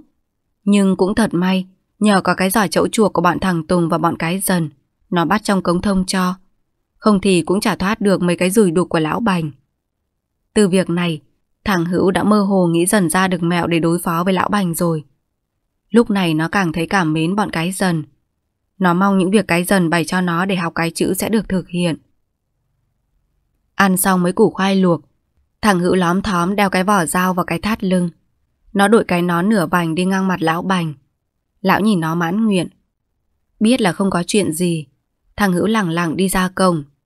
Đi khuất khỏi cây mít trước ngõ. Thằng Hữu co càng chạy nhanh, chui tọt vào vườn chuối nhà ông chàng trước. Cái dần nó ngồi chờ ở đấy. Thấy thằng Hữu nó nhe răng cười bảo. Tối qua có được ăn được ngủ không? Thằng Hữu thật thà. Tao đói không ngủ được. Có cái đèn chai nhớ ra quyển chuyện mày cho mượn giấu ở trong ổ rơm. Lấy ra ghé vào cái đèn đom đóm đọc hết. Đọc rồi ngủ lịm đi. Sáng bành lão bành đá vào đít mới thức giấc. Lão hỏi cái đèn. Tao phịa chuyện như chúng mày đã bày tao. Tao còn phịa thêm cả cái chuyện đi bắt chẫu chuộc với bà Tứ nữa. Lão bành hết hung hãn ngay. Nhưng mà đi bắt đom đóm ban đêm cũng sợ lắm mày ạ. Tao phải mò mẫm ra tận chỗ mà bố bầm tao mới bắt được. Mà thật là lạ mày ạ. Những con đom đóm tao thấy ở bờ ruộng. Vô thế nào cũng không được. Tao buồn quá, mệt quá. Lần về chỗ mộ bố bầm tao. Lại thấy những con đom đóm ấy tự xả tới. Tao khủa tay ra là nó đậu vào lòng tay ngay. Tao nghiêng lòng tay vào cái miệng chai. Nó lại tự chui tọt ngay vào. Cứ như là có người xui ấy. Lúc ấy quả thật tóc gáy tao cứ dựng ngược. Tao định bỏ chai lọ chạy. Nhưng tao nghĩ chắc là bố bầm tao hiện lên phù hộ. Thế là tao đếch sợ nữa. Tao lội giữa bãi tha ma. Chỉ một dơn là được lưng cái chai thủy tinh của mày. Quả là đèn đom đóm cũng sáng lắm. Tao đọc rất tỏ chữ mày ạ. Theo kế hoạch của bọn mày, nhất định tao sẽ học được cái chữ. Nhưng tao lại e. Thứ nhất việc học bằng đèn đom đóm chỉ thuận lợi khi thời tiết đang là mùa hè. Còn mùa đông đom đóm hiếm lắm, kiếm tìm đâu ra. Và lại học kiểu này có giỏi, cũng chỉ để biết chứ có được lên lớp đâu. Thằng Hữu thở dài, cái dần lại cười khúc khích. Ông Mạnh ơi, tài lo xa thế. Tài lo xa thế là tốt, nhưng cái bài học đèn đom đóm qua sách vở, tao chép dùm chỉ là trước mắt thôi. Về lâu dài, tao phải thưa với thầy giáo Thuyên, tìm cách cho mày được đến lớp để học chứ. Ngày bây giờ cứ phải làm theo cái cách đã tính sẵn với nhau rồi đã. Mai kia bọn mình phải tranh thủ gặp gỡ làm thân với bà Tứ Võ Tôm. Mình sẽ dựa vào điểm yếu của lão Bành, nhờ bà Tứ chị lão ấy chừa bớt cái tính độc ác hung dữ. Và thưa với thầy Thuyên về hoàn cảnh khó khăn của mày. Chắc là thầy giáo sẽ có biện pháp cùng với thôn xóm để cho mày được đến lớp học hành cùng bọn tao. Còn bây giờ cứ phải lặng lẽ, dùng đèn đom đóm để khắc phục việc học hành trước mắt đã. Mà nếu mày dùng ngọn đèn đom đóm mà thành trò giỏi, sau này thành kỹ sư, bác sĩ, có khi cái đèn đom đóm ta sáng tạo ra cho mày lại thành chuyện cổ tích của làng thông mình đấy. Cái dần lại cười tít mắt. Thôi, ăn cơm đi. Cơm nắm của bầm tao nắm vào mo cau đấy. Ăn rồi vào rừng lấy củi. Chiều đi chăn trâu về, cứ ra chỗ này mà lấy sách. Tao để sẵn đây nhá. Nói rồi, cái dần cáp sách quay đầu đi về phía trường học. Thằng Hữu ngồi lặng, nó đưa mắt nhìn theo cái dần, rồi nhìn nắm cơm tròn xoe trong cái mo cau. Nước mắt nó tự nhiên chảy ra dòng dòng. Nó biết ơn bọn cái dần và có cảm giác tủi tủi phận mình. Nó dở cái mo cau bẻ nắm cơm ra ăn. Cơm có muối vừng thơm phức, nhưng không hiểu tại sao nó không nuốt được. Nó bóp chặt nắm cơm trong lòng tay, nước mắt cứ ứa ra. Trở trong làn gió sớm mát lạnh như có giọng nói ngọt ngào, giọng nói rất giống giọng bẩm nó. Cứ ăn đi con ạ, ăn mà lấy sức con làm lụng. Khi lớn khôn con phải biết những hạt cơm này là hạt vàng hạt ngọc, là mồ hôi nước mắt của bà con làng thông, đã chặt chiêu dành cho con đấy. Thằng Hữu ngẩn ngơ rồi bẻ nắm cơm ăn. Cơm trôi đến đâu, ruột gan nó mát đến đấy. Nó tự nghĩ, mình ăn cơm là ăn hạt vàng hạt ngọc của quê hương. Mình phải cố gắng sống có nghĩa với những hạt vàng hạt ngọc ấy. Phải biết quý mến bọn cái dần, cái tráng. Phải học để làm được thật nhiều những bài toán khó, những bài văn hay. Phải chung sức giúp bọn cái dần cùng học, cùng biết những bài khó để cho thầy giáo thuyên thật vui lòng. Nghĩ vậy, thằng Hữu ăn thấy ngon miệng hơn. Ăn xong, nó đeo vỏ dao vào thắt lưng, cắm đầu đi một mạch vào rừng rui. Rừng buổi sáng thơ mộng và huyền bí. Nó lách theo cái lõng chui sâu vào lòng rừng. Nó lầm lũi với những công việc đã quen thuộc, đốn những cảnh củi khô từ những cây hu, cây bứa, cây nhọn nồi. Đốn ngắn bó lại thành bó để mang về, đổi cho bà nhỏ lấy cút rượu cho lão bành. Nó cạm cụi vừa làm vừa thổi sáo. Rừng cũng rộn lên, những chú chim láo cáo, chim cu rúc, chim trà cùi. Từ các tán cây cùng gian lên, tạo ra những khoảng trời xanh ngắt của rừng. Thằng Hữu dựng gánh củi tựa vào gốc cây sầm đen, ngồi hít thở không khí của rừng sau giờ lao động mệt nhọc. Rừng càng đẹp càng thơ mộng, thằng Hữu càng thấy hầm hưu cho thân phận của nó. Nó tựa lưng vào bó củi lặng nhìn trời. Trong mắt nó lại bày ra ngôi nhà hoang toàn, đầy mạng nhện, với cái trọng tre lúc nào cũng hoang nguốc, nồng nặc mùi rượu từ lão bành phả ra. Cùng những trận đòn thượng cẳng chân hạ cẳng tay lão quật xuống thân xác nó. Thằng Hữu thấy có cái gì thật xót xa cay đắng. Nó tự luận ra một điều. Nếu bố bầm nó còn sống, nó làm lụng vất vả thế này, bố bầm nó sẽ khen. Sẽ mua áo quần mới cho nó mặc. Đằng này không, những lão bành không đả động gì đến những việc làm của nó, mà lão ấy chỉ biết uống rượu. Rượu lại từ những gánh củi mà nó phải vất vả, mệt nhọc hàng buổi mới có. Lão ấy uống hết, ăn hết cả phần của nó, lại đốt sách vở, không cho nó đi học, và lại còn đòn roi thượng cẳng chân hạ cẳng tay với nó nữa. Thằng Hữu tự nhiên thấy ngán ngầm lão bành. Thằng Hữu lắc đầu chép miệng. Chả nhẽ cứ phải sống mãi cảnh này sao? Nó thở dài và thầm kêu bố kêu bầm. Nó tựa lưng vào bó củi nhìn trời. Chợt có tiếng sột soạt từ trong đám cây mua đi ra. Thằng Hữu vội đứng choàng dậy. Bà từ vó tôm đã đi lại gần chỗ gánh củi của nó. Nó vội khoanh tay. Cháu chào bà Tứ ạ. Bà lên rừng làm gì thế? Thấy nó ngoan ngoãn, bà Tứ ngẩn người. Vì trong đầu bà bấy nay không hề có nó. Bà ghét lão bành, thành thử ghét luôn cả nó. Bà quên mất sự trống vắng của một đứa trẻ mồ côi cha mẹ. Bà nhìn nó giọng ngọt ngào. Sao cháu không đi học mà lại vào rừng lấy củi một mình? Dạ, lão bành đốt hết sách vở của cháu rồi. Lão ấy bảo, không phải học hành gì hết. Cứ ở nhà lớn lên đi, cày. Học hành làm gì cho tốn giấy tốn mực? Hàng ngày lão ấy bắt cháu đi chăn trâu, Kiếm củi về đổi quán bà nhỏ lấy rượu cho lão ấy uống. Cháu sợ lão ấy lắm. Cháu trách bầm cháu chả biết tự nhiên lại rước lão ấy về, Rồi lại vội chết. Để cháu cực quá bà ơi. Thằng Hữu nói như muốn khóc. Bà Tứ nhìn nó ngậm ngùi. Bà chưa biết tìm câu gì để an ủi nó cho phù hợp, Thì thằng Hữu lại hỏi. Sao hôm nay bà không kéo vó tôm mà lại vào rừng lấy củi? Bà có mua gánh củi này không? Nếu bà mua, cháu sẽ gánh về tận nhà cho. Bà Tứ cười. Bà vào rừng đào khúc rễ mí để ăn trầu, nhưng cây mí to, dễ chìm sâu quá bà không đào được. Bà đành vác tạm cái vỏ nó về để ăn cho đỡ nhạt miệng. Thế thì bà để cháu đào cho. Nói rồi, thằng Hữu cầm con dao pham pham đi lại chỗ gốc cây mí. Nó cắm đầu hùng hục đào. Chỉ khoảng nửa giờ, nó đã lôi lên được cái dĩ mí dài thườn thượt đến một sải tay. Nó vừa nói vừa cười bảo bà Tứ. Cái dĩ này bà phải ăn được vài tháng mới hết. Nếu bà sợ nó khô, bà cứ chặt khúc ra vùi xuống đất. Nó tươi lâu lắm, Ngày bầm cháu còn sống, bầm cháu cũng làm thế bà ạ. Vừa nói, nó vừa ngước mắt nhìn bà Tứ. Bà Tứ im lặng. Tự nhiên bà thấy trong cổ có cái gì đáng chát. Bà bùi ngồi bảo. Cháu thật là ngoan, bà vô tâm quá. Mang gánh củi này về nhà bà, bà mua cho. Thằng Hữu nhìn bà Tứ cười tít mắt. Nó lùi húi quẩy gánh củi lên vai theo bà về nhà. Bà Tứ bảo nó đặt gánh củi vào góc bếp. Bà lấy đường pha nước cho nó uống. Thằng Hữu tròn mắt nhìn bà, rồi lẳng lặng bê bát nước uống ửng ực. Uống xong nó đặt cái bát xuống bàn nhìn bà. Bà Tứ hỏi. Cháu uống nữa không? Thằng Hữu lắc đầu. Bà Tứ lặng lẽ mở múi thầu cái bao đưa cho nó một đồng và giúp cho nó hai đấu gạo đầy vào cái móm lá cọ. Bà ân cần. Gạo cháu mang về, cất vào chỗ ổ rơm. Lúc nào lão bành nó say rượu thì đổ vào nồi nấu mà ăn. Còn đồng bạc thì để dành. Nếu lão bành đòi rượu thì cũng chỉ mua đúng hai hào thôi. Đừng để cho lão ta biết cho có tiền. Thỉnh thoảng ra đây đi kéo vó tôm, đi dồn vịt về chuồng với bà cho vui cháu nhá. Bà Tứ nhìn nó âu yếm. Có lẽ từ ngày bầm nó chết, chị Sơn đi lấy chồng. Hôm nay thằng Hữu mới được những giây phút ấm cúng, hạnh phúc như thế này. Nó khoanh tay vâng dạ, rồi đội cái nón nửa vành lên đầu, lón thón đi ra khỏi căn nhà của bà Tứ. Nó rất sung sướng, và trong lòng không còn cảm giác thấp thỏm sợ lão bành nữa. Nó đi một mạch về nhà, lẳng lặng lại chỗ ổ rơm, cất cái móm gạo, rồi ra vại nước vớt nước lên mặt cho mát.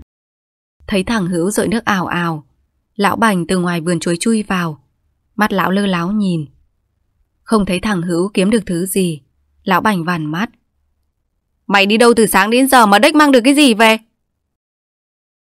Mày muốn chết theo con mẹ mày thì bảo ông. Thằng Hữu không tỏ ra sợ sệt như trước, mà nó còn sóng sạc nói. Củi con bán rồi. Mày bán ở đâu? Bán giấu tao à? Thằng này càng lớn càng cứng đầu cứng cổ.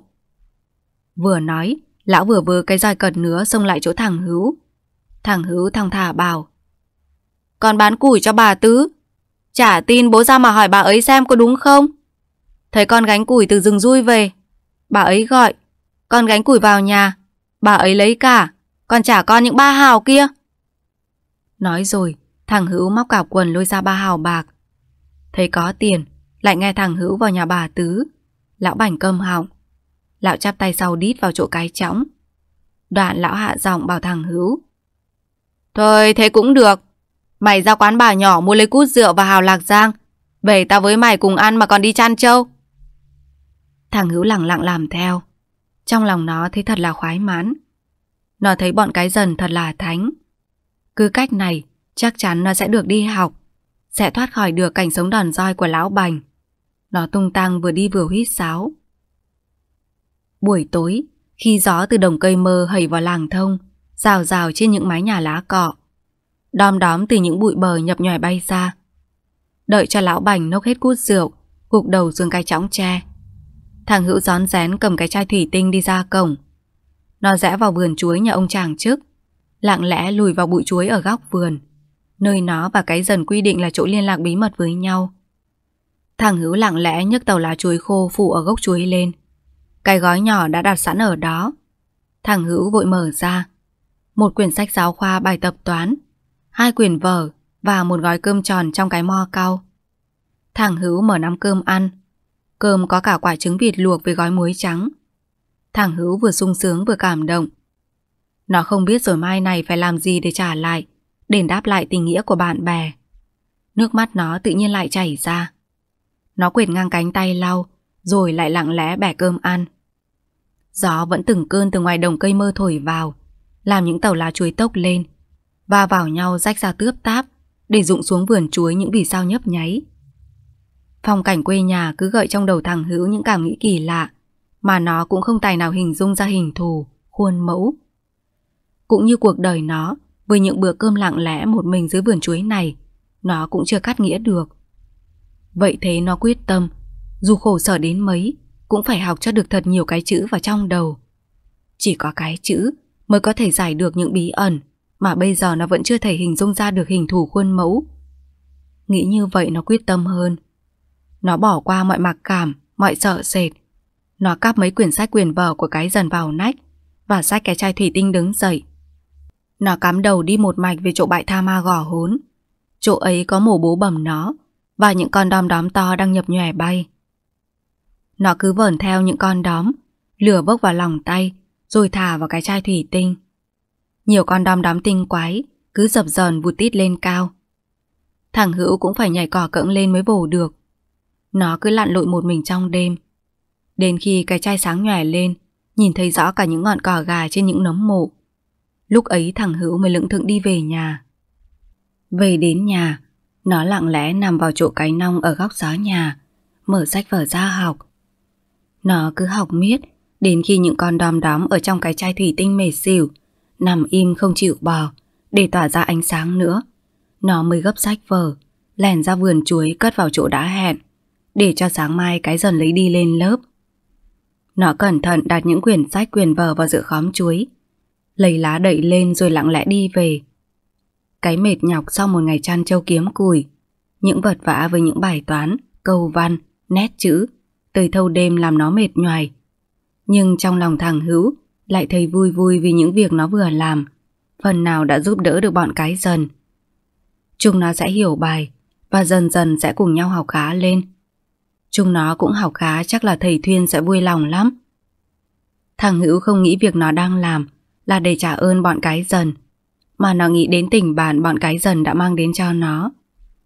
Nó phải có nhiệm vụ giúp bọn cái dần hiểu bài, học giỏi như chính những công việc mà bọn cái dần đã giúp đỡ nó trong cuộc sống thiếu túng khổ sở, nó đang phải chịu đựng, vượt qua hàng ngày hàng giờ, dưới mái lá nghèo và những sự tàn nhẫn của lão bành. Nó bắt đầu mơ hồ nhận ra số phận của mỗi kiếp người khi sinh ra ở cõi đời này. Nhưng nó chưa thể cắt nghĩa đến đầu đến ngọn được. Nó vừa suy đoán vừa lùi vào bóng đêm đi về nhà. Gà cũng đã bắt đầu gáy gọi canh ba. Đêm cũng dịu xuống lạnh lạnh vì những giọt sương. Gió ngoài đồng cây mơ như cái quạt phe phẩy hát vào làng, làm cho giấc ngủ của người làng thông say nồng hơn sau một ngày làm lụng mệt nhọc. Về đến chỗ cây mít ở đầu cổng, thằng Hữu đi vòng ra phía đầu bếp lại chỗ cái nong. Đến chỗ gần cái chĩnh nước, qua ánh sáng nhập nhòe của cái đèn đom đóm, thằng Hữu đảo mắt nhìn. Nó thấy lão bành vẫn nằm úp mặt vào cái chõng tre. Hai tay lão xoài thõng xuống nền đất, cái cút thì lăn chồng nghiêng xuống đất. Thằng Hữu đứng lại nhìn. Lần đầu tiên nó nhìn kỹ lão bành nằm ngủ. Mặt lão ấy mét như tàu lá khoai nước bị lửa. Cứ hẳn lên qua ánh sáng xanh lét của cái chai đèn đom đóm non càng sợ hãi. Thằng Hữu cứ đứng lặng nhìn. Tự nhiên trong lòng nó lại trộn rộn một cảm giác, vừa hận lại vừa thương lão bành. Thằng Hữu khẽ gión chân, xách cái đèn đi lại gần xem có con mũi nào, thì khẽ phẩy cái quạt cho nó bay đi. Nó cứ đi bước một, phòng sợ lão bất thần tỉnh giấc thì còn có cách đối phó. Nhưng lạ là khi thằng Hữu roi cái chai đèn vào mặt mà lão Bành vẫn nằm lặng. Thằng Hữu đoán chắc lão ta uống say quá. Nó tần ngần đứng nhìn, nhưng tự nhiên nó thấy một cảm giác lạ. Tại sao hôm nay lão Bành lại không ngáy ò ò nhỉ? Nó căng mắt nhìn và liều đánh bạo đập nhẹ tay vào bả vai lão. Lão vẫn nằm im không động đậy. Tự nhiên thằng Hữu thấy lành lạnh ở sống lưng. Nó đặt cái đèn xuống đất, lấy hai tay lay nhẹ vào vai lão Bành.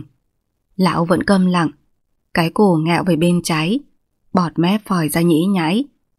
Thằng Hữu loay hoay không biết xoay sở ra sao. Tiếng gà vẫn vọng eo óc khắp làng. Đêm hôm, làng đang ngủ thế này biết gọi ai được. Gọi bọn cái dần, bọn thằng Tùng, thằng Phú, giờ này càng khó. Chúng nó đang ngủ trọng kheo cả. Mà có gọi, chúng nó cũng như mình thôi, biết xoay sở thế nào được. Cứ để lão nằm thế này đến sáng, lão chia ra đây cũng tội. Thằng hữu thở dài và như có ai mách bảo. Nó co cẳng cắm đầu chạy một mạch ra ngôi nhà của bà Tứ ở ven trầm đầu.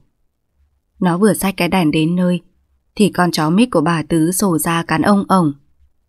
Thấy động, bà Tứ thức dậy khêu to ngọn đèn dầu. Bà nhìn ra ngõ, thấy cái đèn đom đóm xanh lẻ nhấp nháy. Bà lên tiếng quát con chó nằm vào chỗ rồi mở cửa.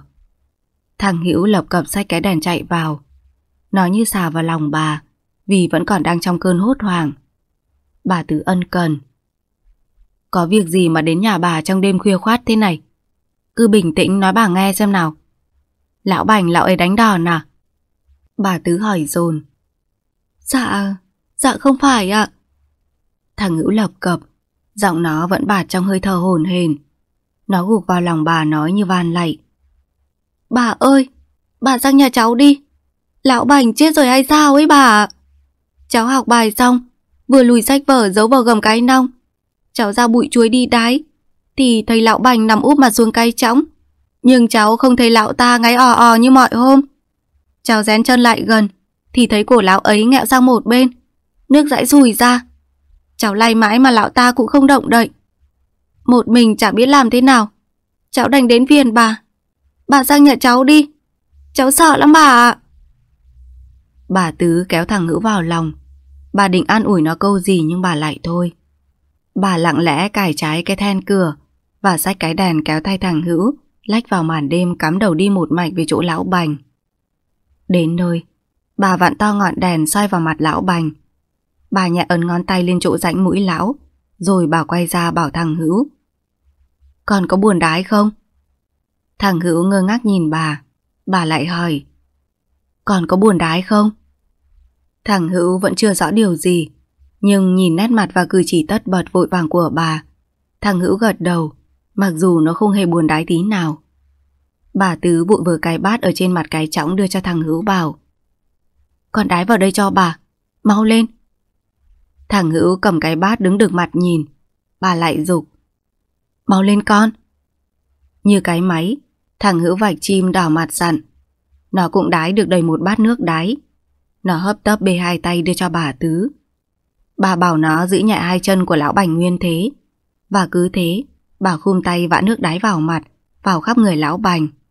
Bà vừa vã nước đái vừa xoa. Khoảng nửa tiếng thì thấy lòng ngực lão Bành phập phồng thở. Bà ngừng tay nhìn khắp thân thể lão, rồi bà lại nhẹ nhàng dùng ngón tay trỏ, khẽ day nhẹ vào chỗ rãnh mũi của lão Bành. Một lúc thì thấy mi mắt lão hơi động đậy. Bà Tứ thở phào bảo thằng Hữu.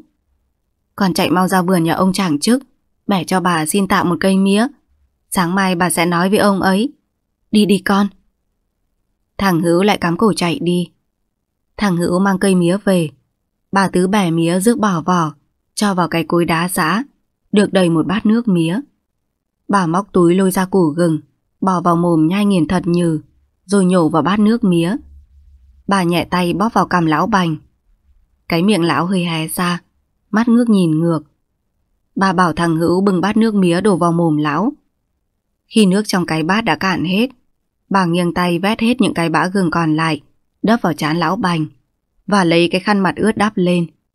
Việc xong, bà ân cần bảo thằng Hữu. Được rồi, lão ta không chết đâu mà sợ con ạ. Bây giờ con xem có còn gạo, thì bỏ vào nồi ninh lấy một nồi cháo thật như. Bà về lấy cho quả trứng, đập vào cho lão ấy ăn là ổn. Nói rồi, bà sách cái đèn đứng dậy đi về.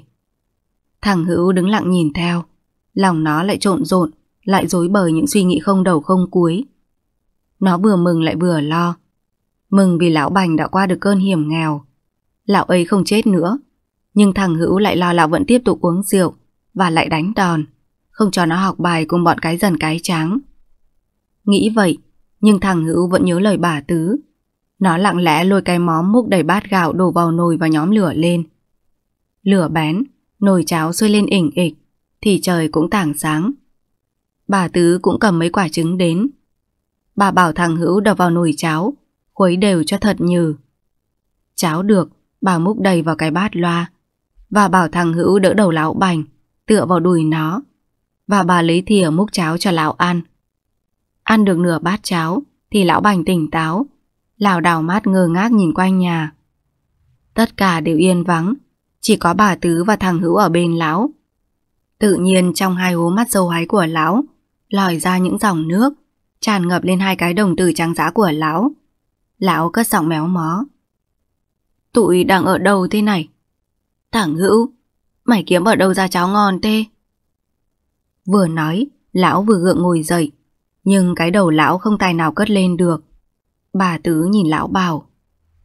Ông cứ nằm yên đấy, thằng Hữu nó phục dịch. Ông uống nhiều rượu quá bị trúng cảm. Nó nhiễm vào não, may mà thằng cháu Hữu nó biết. Chậm một tí nữa thì ông cũng ra vườn hốn nằm với run rồi. Bệnh của ông hơi nặng, bị bán thân bất toại đấy. Có khỏi cũng phải hàng năm, nhưng cũng chỉ đi lại được thôi. Ông cố ăn uống thật điều độ, để đi lại được, đừng để ỉa dề đái dầm thế này, thì làm tội thằng cháu hữu đây. Nói đoạn, bà lặng lẽ đứng dậy. Mùa hạ, mặt trời như cái lưỡi đỏ đọc, bắt đầu thè lên đỉnh núi Trâm. Nắng nhọn như những cái rùi lửa xuyên xuống, làm cho những giỏ xương trên những tàu lá chuối bốc khói tan biến. Bầu trời cao vồng lên, từ các ngõ cổng, đám thằng Phú, cái dần, cái tráng, nhí nhéo gọi nhau đến lớp. Thằng Hữu vẫn ngồi ở cái trọng với lão Bành. Nó nhìn lão, lão cũng nhìn nó, nhưng không ai nói với ai câu gì. Trong đầu thằng Hữu tự nhiên lại hiện lên hình ảnh, cái dần đang rón rén đến chỗ vườn chuối nhà ông chàng trước. Nó nhẹ thỏ tay nhấc đầu lá chuối khô, lấy những quyển sách quyển vở, bỏ vào cặp, rồi lại lặng lẽ để cái mò cơm vào đấy cho thằng Hữu. Hình ảnh cái dần cứ lộ lộ trong mắt, làm cho lòng dạ thằng Hữu dối bời. Nó gọi to. Dần ơi! Lão bành giật mình, giọng lão vẫn méo mó. Mày kêu cái dần làm gì thế? Thằng Hữu giật mình nhận ra thực tại. Nó ngoảnh lại nhìn lão bành. Bất chợt nhìn thấy hai dòng nước mắt vẫn lặng lẽ ỏi ra từ hai khóe mắt lão. Lão muốn nói điều gì với thằng Hữu, nhưng mồm miệng lão cứ như có ai búp chặt. Lão ngước mắt cứ nhìn thằng Hữu trầm chập, như đứa trẻ con nhận lỗi trước người lớn. Thằng Hữu cũng mở to đôi mắt ngây thơ nhìn lão, rồi nó bảo. Bố cứ nằm nghỉ đi, đừng nghĩ ngại gì. Cái nhà này vẫn còn con ở lại đây. Con cũng bắt đầu nhớn rồi. Con sẽ chăn trâu kiếm củi nuôi bố. Khó nhọc mấy con cũng vượt qua được. Việc gì khó hoặc lúc bần hàn, con sẽ nhờ bà Tứ và đám cái dần giúp đỡ. Bố đừng lo. Lão bành tròn mắt chằm chạp nhìn thằng Hữu và hai dòng nước trong khóe mắt lão vẫn cứ ỏi ra giàn rùa. Lão bành mắc bệnh nằm liệt. Thằng Hữu thoát cảnh đòn roi. Nhưng những nhọc nhằn lo toan lại như cái gánh nặng khổng lồ, đè lên đôi vai còn thơ dại của nó. Ngày ngày nó vừa phải lặn lội để có bát cơm bát cháo cho lão bảnh ăn, vừa phải tắm rửa ra dụ cho lão. Và còn cái việc quan trọng là đi học chữ nữa. Bây giờ lão bành không còn sức còn quyền để cầm nó đến trường đến lớp. Nhưng mọi việc bắt buộc nó phải tự lo lấy. Không thể ỉ nhờ vào bọn cái dần được. Nó quyết tâm không làm phiền bọn cái dần nữa. Hàng ngày nó đi chăn trâu kiếm củi để lấy tiền, lấy lúa gạo sinh sống và nuôi lão bành. Đêm đến, nó vẫn lặn lội xách cái đèn chai ra bãi tha ma gò hốn, bắt đom đóm về làm đèn để học bài.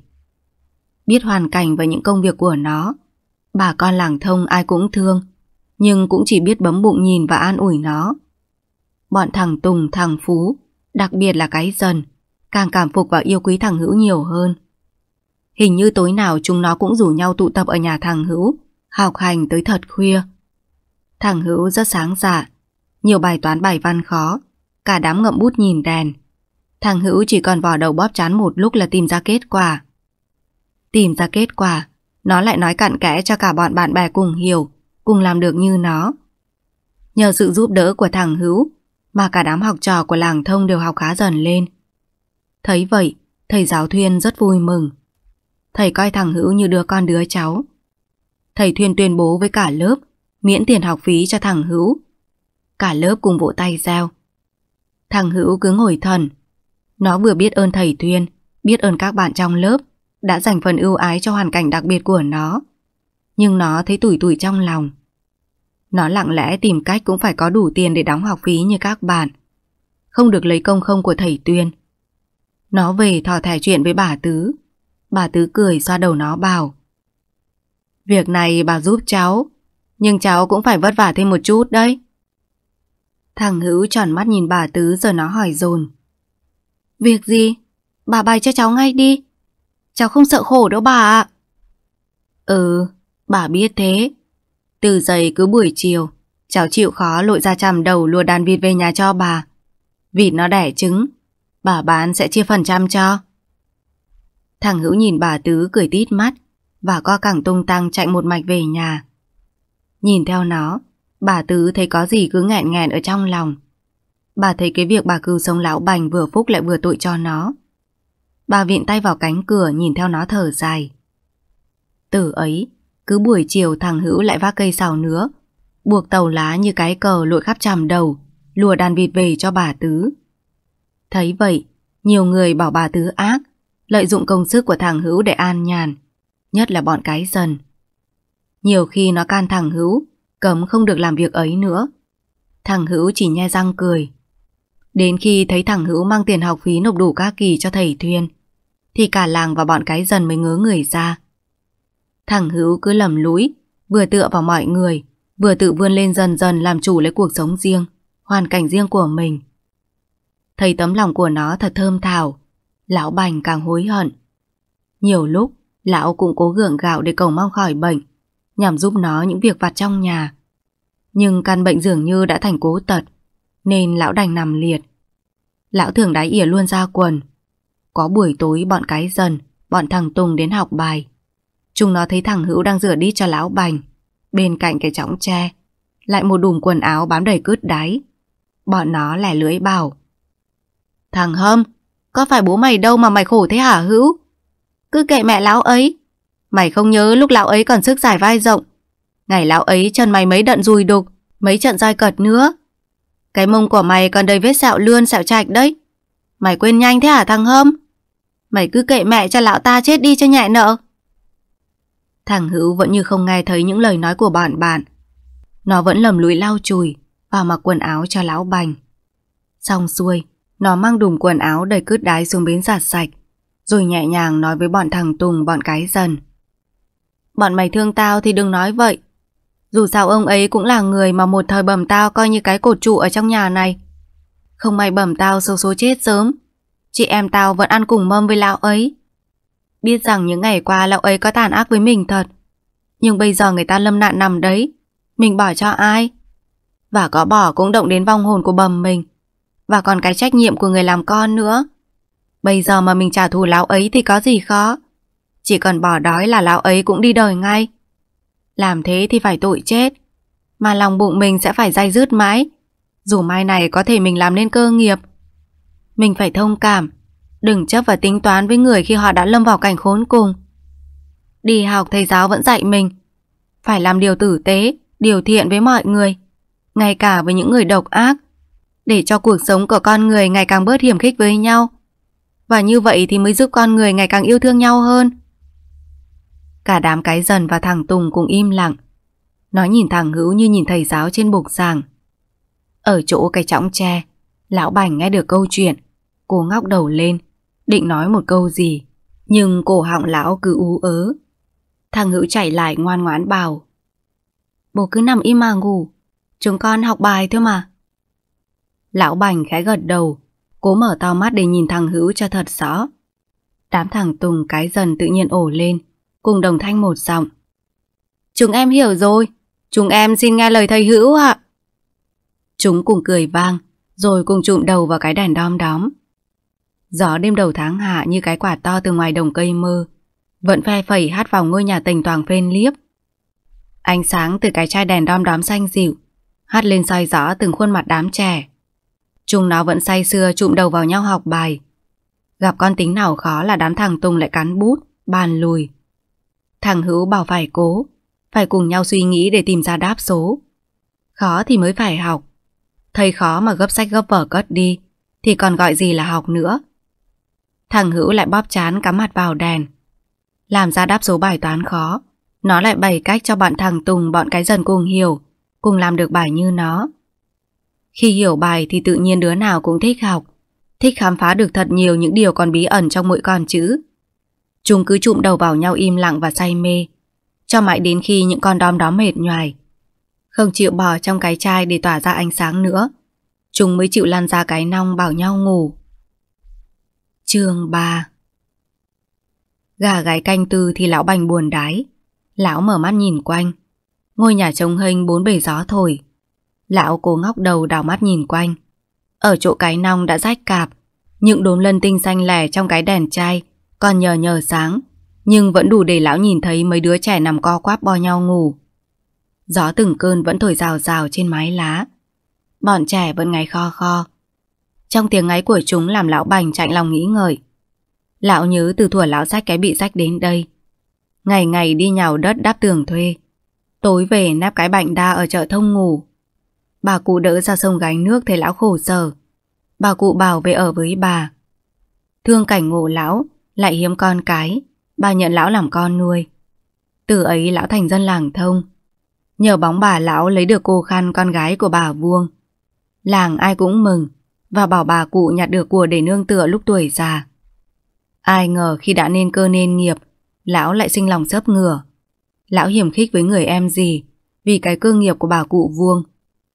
Gặp buổi làng xã vùng lên đánh đổ địa chủ phong kiến cường hào, mượn gió bẻ măng lão vu khống, bịa đặt ra nhiều chuyện bất lương, làm mất mặt bà cụ đỡ. Người từng cưu mang lão phải nghĩ ngợi mà chết. Còn gia đình bà cụ Vuông và cô Khăn, vợ lão phải bỏ làng đi mất tâm. Chuyện này, lão cũng không nhớ rõ đầu đuôi nữa. Nhưng khi cô Khăn bỏ đi, lão sinh ra rượu chè, nhà cửa lão bán sạch, ruộng vườn lão cho làm rẽ. Ngày thành lập hợp tác, lão là người tiên phong nhập ruộng đầu tiên. Lão trở thành người rảnh rang. Ông đội trưởng cắt công đi làm việc gì lão làm việc ấy. Làm đầm đơ cốt để có công có điểm. Đến mùa cứ tính công tính điểm mang thùng ra nhà kho lấy lúa. Được bao nhiêu chén bấy nhiêu. Nhờ có hợp tác mà lão lại bờ, lại an nhàn có miếng ăn miếng để. Thế là lão lại tính đến việc có một đứa con. Một buổi tối lão nhòe rượu, lão lại lần mò tìm đến cô khăn. Nhưng tìm đâu ra? Lão tần ngần rồi khoác cái áo lên người. Hai tay xòa vào vải nước, vuốt mái tóc sang hai bên. Lão lững thững đi về phía nhà bà Cúc, mẹ thằng Hữu bây giờ. Bà Cúc đang bò con ngủ, thấy có tiếng lạch cạch ngoài cửa. Bà lửa con gión chân ra mở cửa. Lão lù lù cứ thấy bước vào. Bà Cúc một phần nể một phần sợ. Bà cứ đi giật lùi, lão cứ sấn tới. Cuối cùng bà đành để im, kệ lão muốn làm gì thì làm. Một bận, hai bận rồi lão quen. Lão cứ ở lì đấy. Khỉ gió những lúc ấy, lão lại rất riêng năng làm lụng. Lão thành lao động chính trong nhà. Bà Quốc động lòng, bà bấm bụng cho thầy cũng tốt. Để lão ấy ở đây làm cái cột cho các con nó dựa cũng chả sao. Trong nhà có người đàn ông vẫn cứ hơn. Ngày bà có mang lão sướng đến phát rồ. Lão làm cái diều to, chiều nào cũng ra đồng cây mơ thả. Khi diều bay lên lão vừa ra vừa khóc. Lão sướng vì lão sắp có con. Lão sẽ không phải là thằng cụt cuối như người làng thông vẫn dịu lão nữa. Còn lão khóc vì lẽ gì lão cũng không biết được. Nhưng cái niềm vui ấy chỉ đến với lão trong chốc nhát, rồi nó nguội tắt đi ngay. Nó giống như ngọn lửa vừa nhòe lên, đã gặp một cơn mưa rào to đổ xuống. Chuyện xảy ra lão còn nhớ in. Một buổi thằng Hữu đi chăn trâu trong đồng bảy phần. Nhọ mặt người rồi mà chả thấy nó về. Bà Cúc cứ gọi ngược gọi xuôi vẫn không thấy tiếng nó đáp lại. Thấy bọn thằng Tùng bảo nó thả trâu mãi trong núi bảy phần. Bà Cúc tái mặt. Bà sợ trong núi còn beo. Bà cắm đầu chạy. Không may đến chỗ đập ao phai. Bà bị vấp ngã nhào xuống đập. Lúc ấy đám thằng Hữu cũng vừa lùa trâu về tới. Thấy bầm đang dãy ruộng dưới đập. Chúng la ó lên. Làng xóm đổ đến, lôi được bà lên bờ. Bà bị băng huyết, và đứa con của lão Bành đang còn nằm trong bụng bà, cũng không được thành người. Sau đó bà lại lâm bệnh rồi qua đời. Từ ấy lão Bành chút tất cả căm phẫn trong lòng mình lên đầu chị em thẳng Hữu. Ngày lão lột đôi mấm của chị Sơn đi đổi lấy rượu uống, cái kỷ vật thiêng liêng của mẹ để lại cho chị để làm vốn. Chị rằng co cố giữ, lão đá chị ngã ngửa. Hai chị em bớt lực, cụ ôm nhau khóc suốt mấy ngày dòng. Ngày chị Sơn đi lấy chồng, thằng Hữu càng khổ hơn. Lão bỏ nó nhếch nhác, bữa ăn bữa nhịn, lại đòn roi. Nhất là cái việc lão đốt hết sách vở của nó. Thế mà thằng bé không hề hé răng cái lại lão. Nó lầm lũi chịu đựng, lão không hề động lòng. Lão cho là tại nó nên lão mới mất đứa con. Nghĩ vậy nên lão trở thành người tàn ác. Bây giờ lão nằm liệt đây, thằng Hữu không hề có biểu hiện trả thù. Nó lại còn nhắn tin cho chị Sơn biết. Thỉnh thoảng chị Sơn cũng đào về thăm lão và còn có cả đồng quả tấm bánh, thang thuốc cho lão uống. Càng nghĩ, lão càng thấy lão là người có tội. Với ông bà Cúc, lão là kẻ ăn cháo đá bát. Với chị em thằng Hữu, lão phải là kẻ tử thù của chúng nó.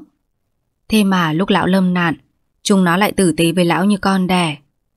Lòng lão tự nhiên như bị ai giày xé. Lão tình đến cái chết. Có lẽ lão phải chết đi, để cái nhà này yên bình, để vong hồn bố bẩm chị em thằng Hữu được thanh thản, không phải thấp thỏm những lo lắng trần thế, mà lão là con quái vật đầu vào tác oai tác quái con cái của ông bà ấy nữa. Lão cố ngóc cổ dậy, nhìn về phía cái nong một lần nữa, rồi lão thẻ lưỡi ra khỏi hai hàm răng. Lão nhắm mắt, dùng hết sức bình sinh để cắn lưỡi chết.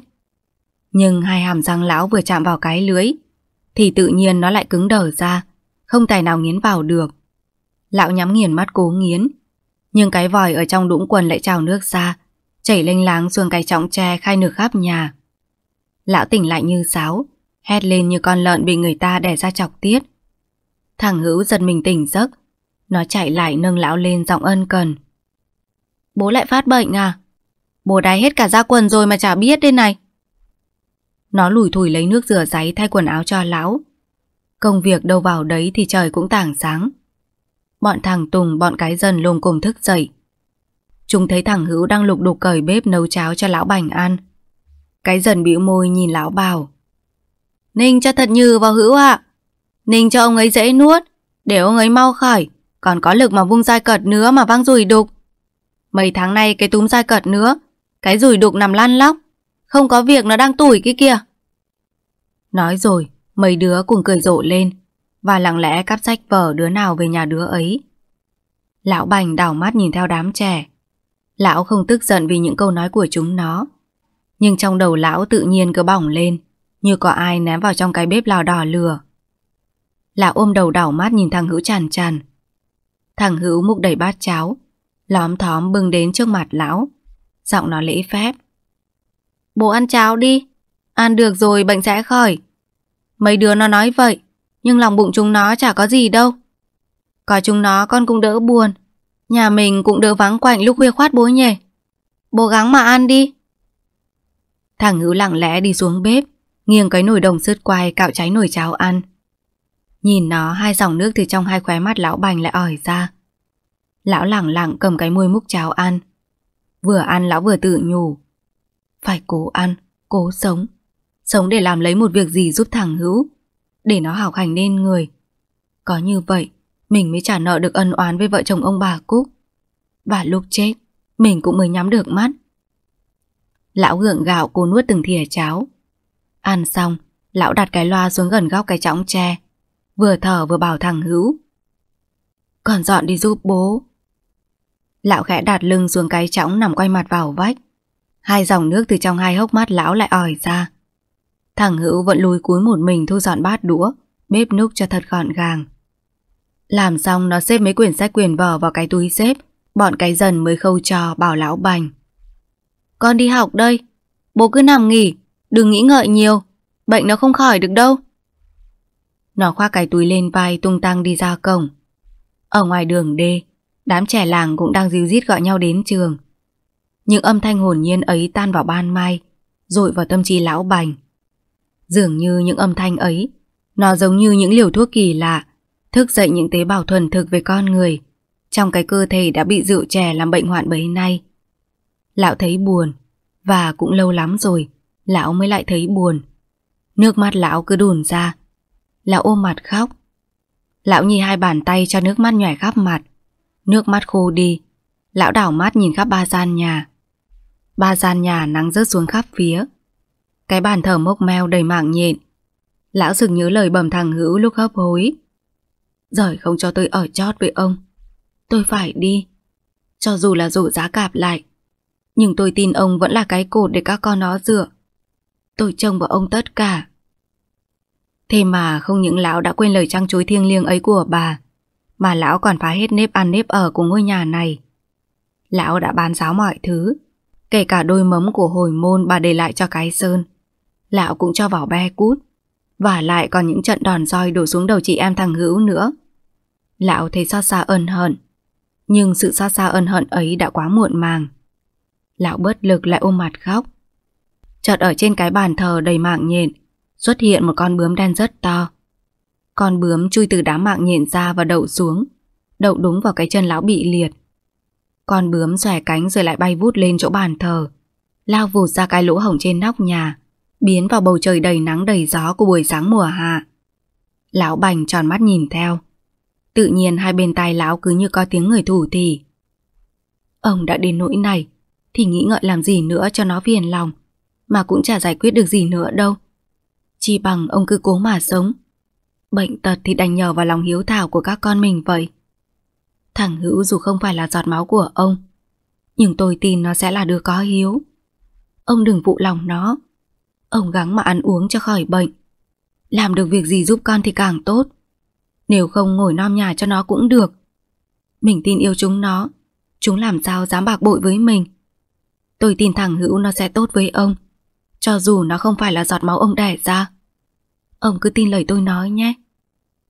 Giọng nói cứ thủ thì ân cần rồi lặng đi. Lão đảo mắt nhìn, nhưng không có ai. Căn nhà vẫn vắng ngắt. Lão lại hình dung ra những ngày lão lâm bệnh. Và ngay buổi sáng hôm nay, thằng Hữu múc đầy bát cháo cho lão ăn. Nó chỉ khoét có cháy ở bẹn nồi. Tấm lòng của thằng Hữu ám ảnh lão hay là hồn ma của bầm nó từ ngoài vườn hốn vọng về. Lão không tự giải thích được, nhưng lão không hoảng sợ. Lão tự nhủ. Rời chứ cho lão chết, lão còn phải sống để trả nợ đời, trả nợ chị em thằng Hữu. Lão nghiến răng cố ngồi dậy. Mới đầu lão co duỗi cái chân còn khỏe để ngồi dậy. Lão cứ làm thế, nhưng sức còn quá yếu. Lão bị ngã gập xuống đất. May quá lúc ấy thằng Hữu cũng vừa đi học về. Nó vội quẳng cái túi dép vào cái nong nâng lão dậy. Lão tròn mắt nhìn thằng Hữu giọng bình tĩnh. còn đừng sợ. Bố tập để ngồi dậy. Tập mãi thế nào cũng ngồi được. Bố sẽ cố để tự đi lại, tự ăn uống lấy để con khỏi vất vả. Con đừng oán bố nữa nhé. Bố hiểu ra tấm lòng của con rồi. Nước mắt lão chảy ra dòng dòng. Thằng ngữ nhìn lão nó không nói được nên lời. Nước mắt nó cũng ứa ra. Có lẽ nó cũng rất xúc động vì từ bé đến bây giờ nó mới được nghe người khác xưng bố với nó. Nó ngậm ngùi bảo Bố đừng lo, mọi khó khăn rồi cũng hết thôi mà. Bệnh của bố chắc là sẽ khỏi. Con sẽ nhờ bà Tứ lên vùng người cao lan ở đồng mụng lấy thuốc cho. Nghe bảo ở đấy có ông thầy lang cao tay lắm. Ông ấy chuyên chữa trị bệnh này. Bố đừng lo bố nhé. Lão bành cảm động, lão tròn mắt rưng rưng nhìn thằng Hữu. Gió chưa hè ngoài đồng cây mơ từng cơn thầm thì thổi vào, hòa cùng câu chuyện của lão bành với thằng Hữu, làm dịu mát dần gian nhà trống vắng. Tuy còn là đứa trẻ, nhưng thằng Hữu cũng linh cảm được đầy đủ những đổi tay, những mong muốn được phục thiện trong lòng lão bành. Cứ nhìn hai dòng nước ỏi ra từ hai hốc mắt lão, càng thấy lão tội nghiệp. Thằng Hữu tự thấy bổn phận của nó, không những chỉ là chăm nom, mà còn phải lo thuốc thang chữa cho lão khỏi bệnh. Nhưng tìm đâu ra tiền Chả nhẽ lại cứ trông nhờ vào lòng tốt của bà Tứ và đám cái dần Ngày bầm còn sống Bầm vẫn bảo hai chị em Ở đời đừng để quá phụ thuộc vào người khác Phụ thuộc quá vào người khác là mình phải mang ơn Phàm cái gì phải mang ơn mà không giữ được Thì dễ trở thành oán Chỉ bằng phải biết tự lựa sức mình Hoàn cảnh mình mà sống Mình phải lo lấy mình trước đã các con ạ Bầm đã sống và tự lập sống như vậy để nuôi hai chị em. Khổ mấy vẫn bấm bụng chịu. Phải học Phải học cái tính nết này của bầm. Phải tự kiếm tiền sinh sống, học hành và chữa bệnh cho lão bành. Bây giờ lên đồng bụng tìm ông lang lấy thuốc, cũng phải có trong bọc giam ba đồng bạc thì mới ổn. Giam ba đồng với người có thì chả đáng gì. Nhưng với hoàn cảnh thực tại của thằng Hữu thì thật là oái oăm. Nó đam chiêu chưa biết cách xoay sở kiểu gì Nhìn lão bành nằm hết tập co duỗi lại phì phò thở. Nó sốt ruột lắm, nhờ ai được. Chị Sơn thì ở xa, và còn phụ thuộc vào hoàn cảnh nhà chồng.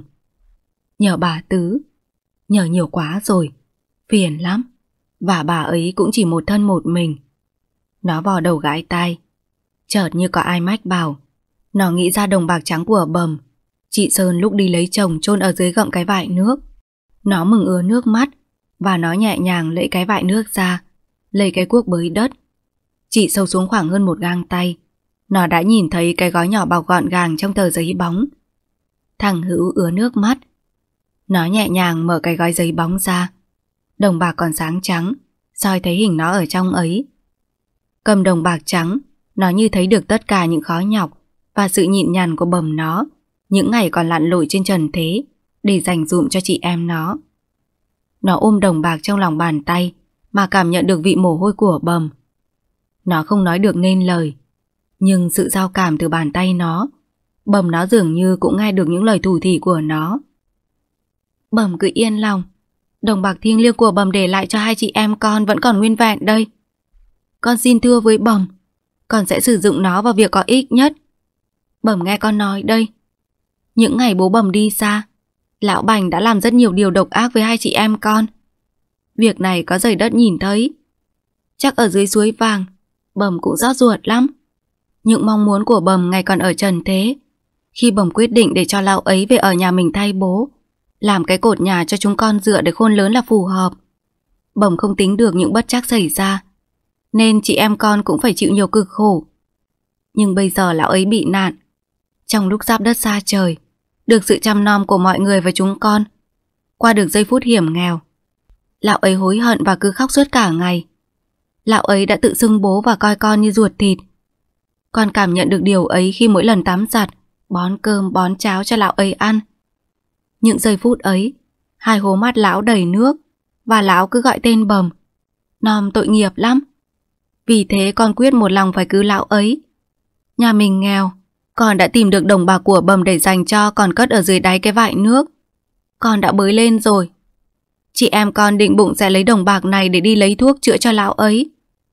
Còn chắc khi khỏi bệnh, lão ấy sẽ tử tế và sẽ làm được cái nghĩa vụ là cái cột nhà cho các con dựa. Để lớn lên là một con người ở làng thông như mong muốn của bầm. Bầm có bằng lòng không? Tự nhiên trong lòng bàn tay thằng hữu như có luồng gió thổi qua mát rượi.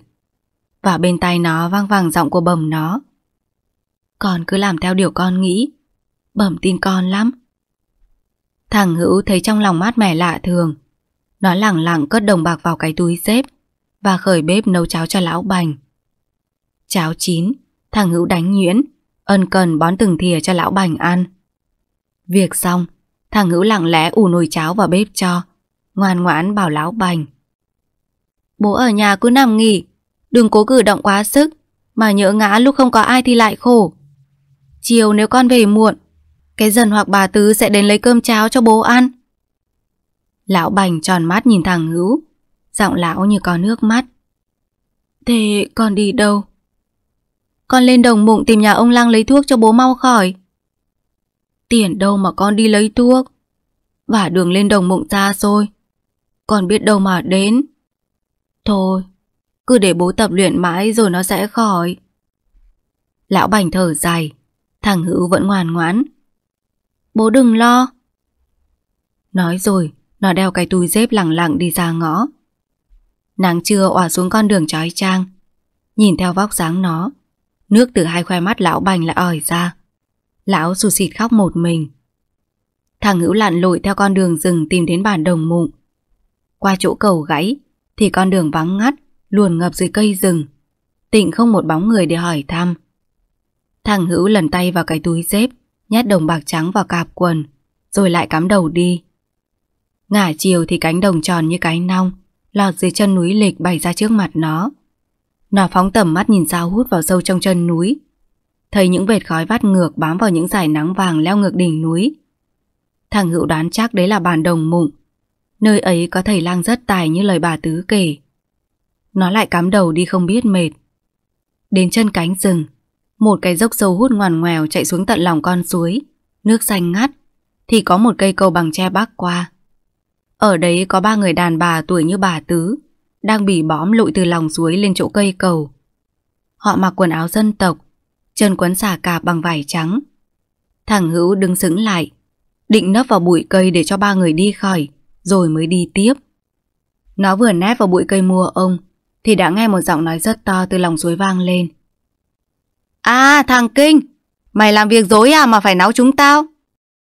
Cả ba người cùng vác dựa chạy ngược dốc. Thằng Hữu vội chui phộc từ trong bụi mua ông ra. Nó chắp tay vừa van lại vừa thanh minh.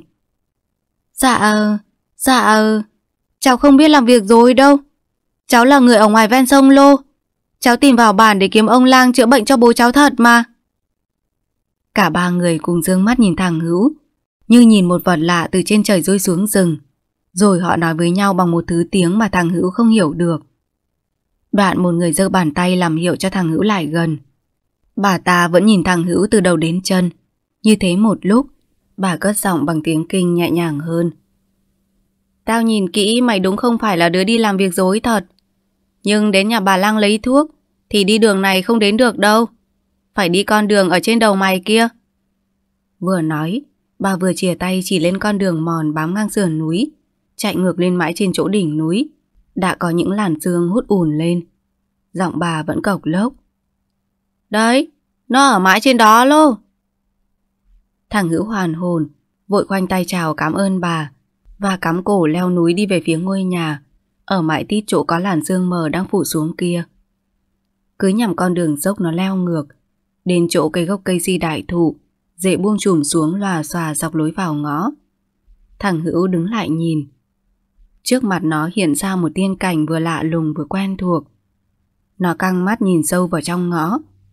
Sau những chùm rễ si tua tủa buông xuống là một căn nhà nhỏ, nép gọn dưới tán cây si, tựa lưng vào vách núi nhìn xuống cánh đồng, ở dưới chân núi lịch.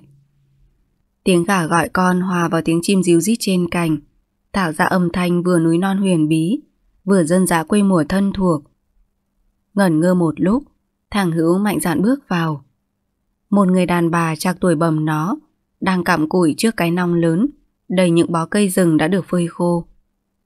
Thấy có người bà ngó ra, thằng Hữu vội khoanh tay ngoan ngoãn.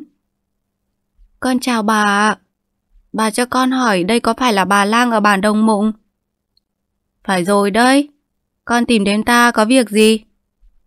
Dạ, con là người kinh ở ngoài ven sông Lô. Con nghe người làng bảo, bà chữa được cái bệnh co liệt. Con tìm đến cầu được bà cho phúc lộc. Gặp thầy gặp thuốc, để bố con qua được bệnh hiểm nghèo. Ờ, con nói rõ căn bệnh đi. Thưa bà, bố con mắc bệnh đã mấy tháng nay rồi. Nguyên nhân là do ông ấy uống quá nhiều rượu. Tối hôm ông bị bệnh, cũng do uống hết mấy cút rượu một lúc. Uống xong ngủ chân ở ngoài hè. Thế là bị cảm lạnh không có ai biết. Mãi khuya con đi đái mới phát hiện. Con kêu lên, hàng xóm chạy đến vã nước đái vào mặt. Bố con tỉnh. Nhưng từ đó một nửa người cứ bị tê không biết gì. Tập mãi bây giờ cũng mới chỉ động đẩy được. Con đến đây nhờ bà, nếu còn phương cứu chữa bà giúp, con đội ơn suốt đời ạ. Ơn huệ gì? Ta làm thuốc cứu người, chữa được thì ta giúp. Bệnh ấy còn có phương, con chờ ta nhé. Nói rồi, bà đứng dậy đi vào trong chỗ có cái hòm bằng gỗ. Một lúc bà mang ra ba gói nhỏ, giọng bà ân cần. Con mang về cho vào cái ấm đất, mỗi gói uống một ngày, mỗi lần đun cho ba loa nước. Đun bằng củi than, nhớ đun nhỏ lửa. Đun khi nào còn khoảng một bát thì cho người bệnh uống. Hết lại đổ nước vào đun lần thứ hai, thứ ba trong ngày. Cứ thế cho cả ba thang thuốc này.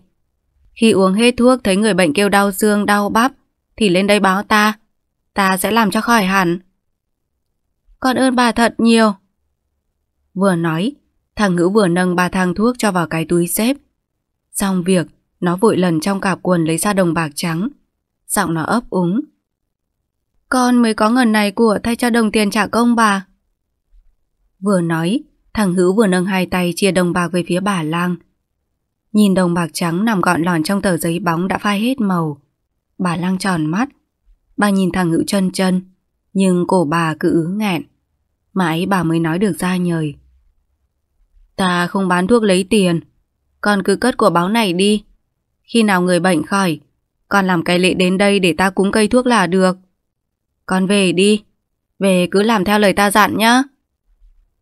Bà lặng lặng quay mặt vào phía trong nhà. Có lẽ bà phải kìm giữ lòng mình ghê lắm, mới giữ được tiếng kêu rời trước mặt thằng Hữu. Có lẽ thằng Hữu cũng không nhận ra được thẳng thốt trong lòng bà lang. Nó cúi đầu ngoan ngoãn chào bà, rồi đeo cái túi xếp vòng qua vai, cúi đầu đi xuôi dốc. Chiều cũng chỉ còn vài sợi nắng vàng ong hát từ đồng mụng lên, làm cho căn nhà trên núi thêm phần bí ẩn. Bà lang vẫn đứng lặng một mình, tần ngần nhìn theo vóc dáng thằng Hữu đang cắm đầu đi xuống núi.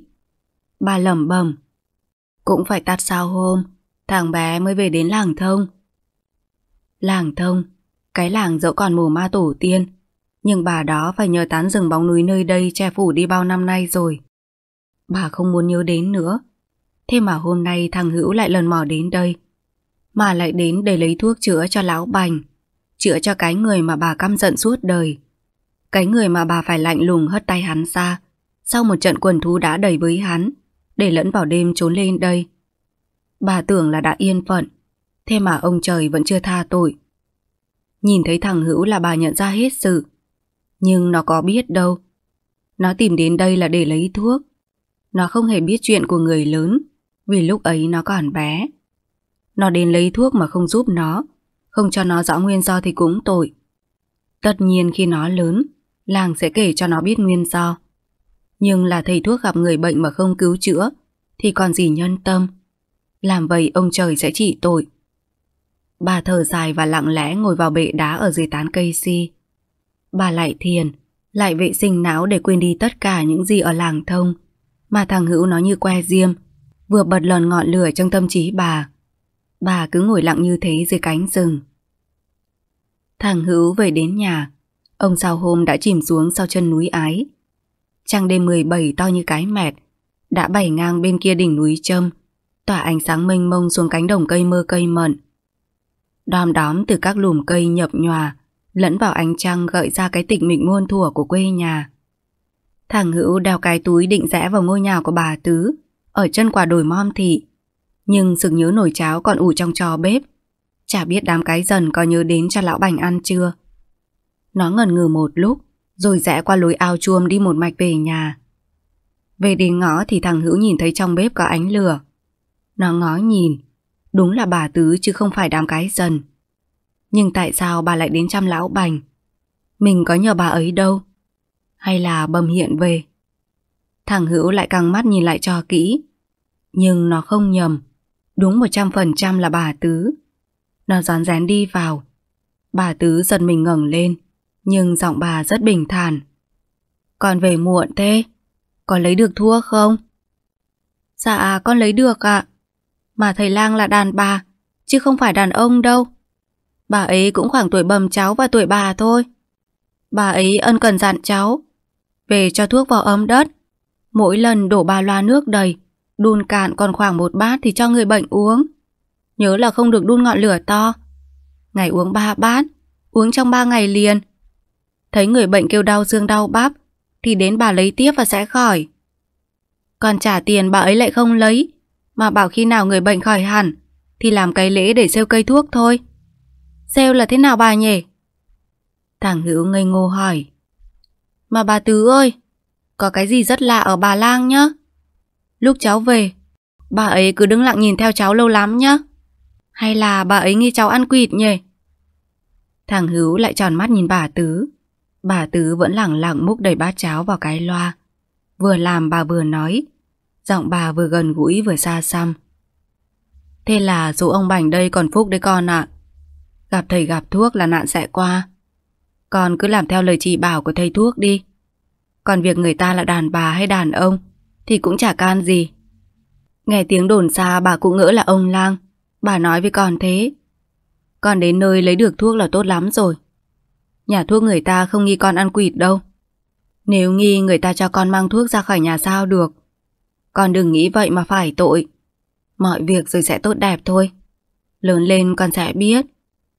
Thôi, Bây giờ con lấy cháo cho ông Bành ăn đi Rồi còn thuốc men còn cứ làm như lời bà lang dặn nhá Bà phải về đây Nói rồi Bà Tứ vừa thở dài vừa đứng dậy Bà lặng lẽ đi ra ngõ Bóng bà nhòa vào ánh trăng Rồi lẫn vào tán những cây muồng trắng Cứ rung rinh dưới trăng ngời Thằng Hữu bê loa cháo lại chỗ lão Bành đang nằm co do ở cái chõng tre.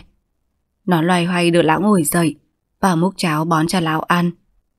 Từ hai hốc mắt của lão bành, nước lại ỏi ra, chảy tràn xuống hai gò má xương sầu hốc khác.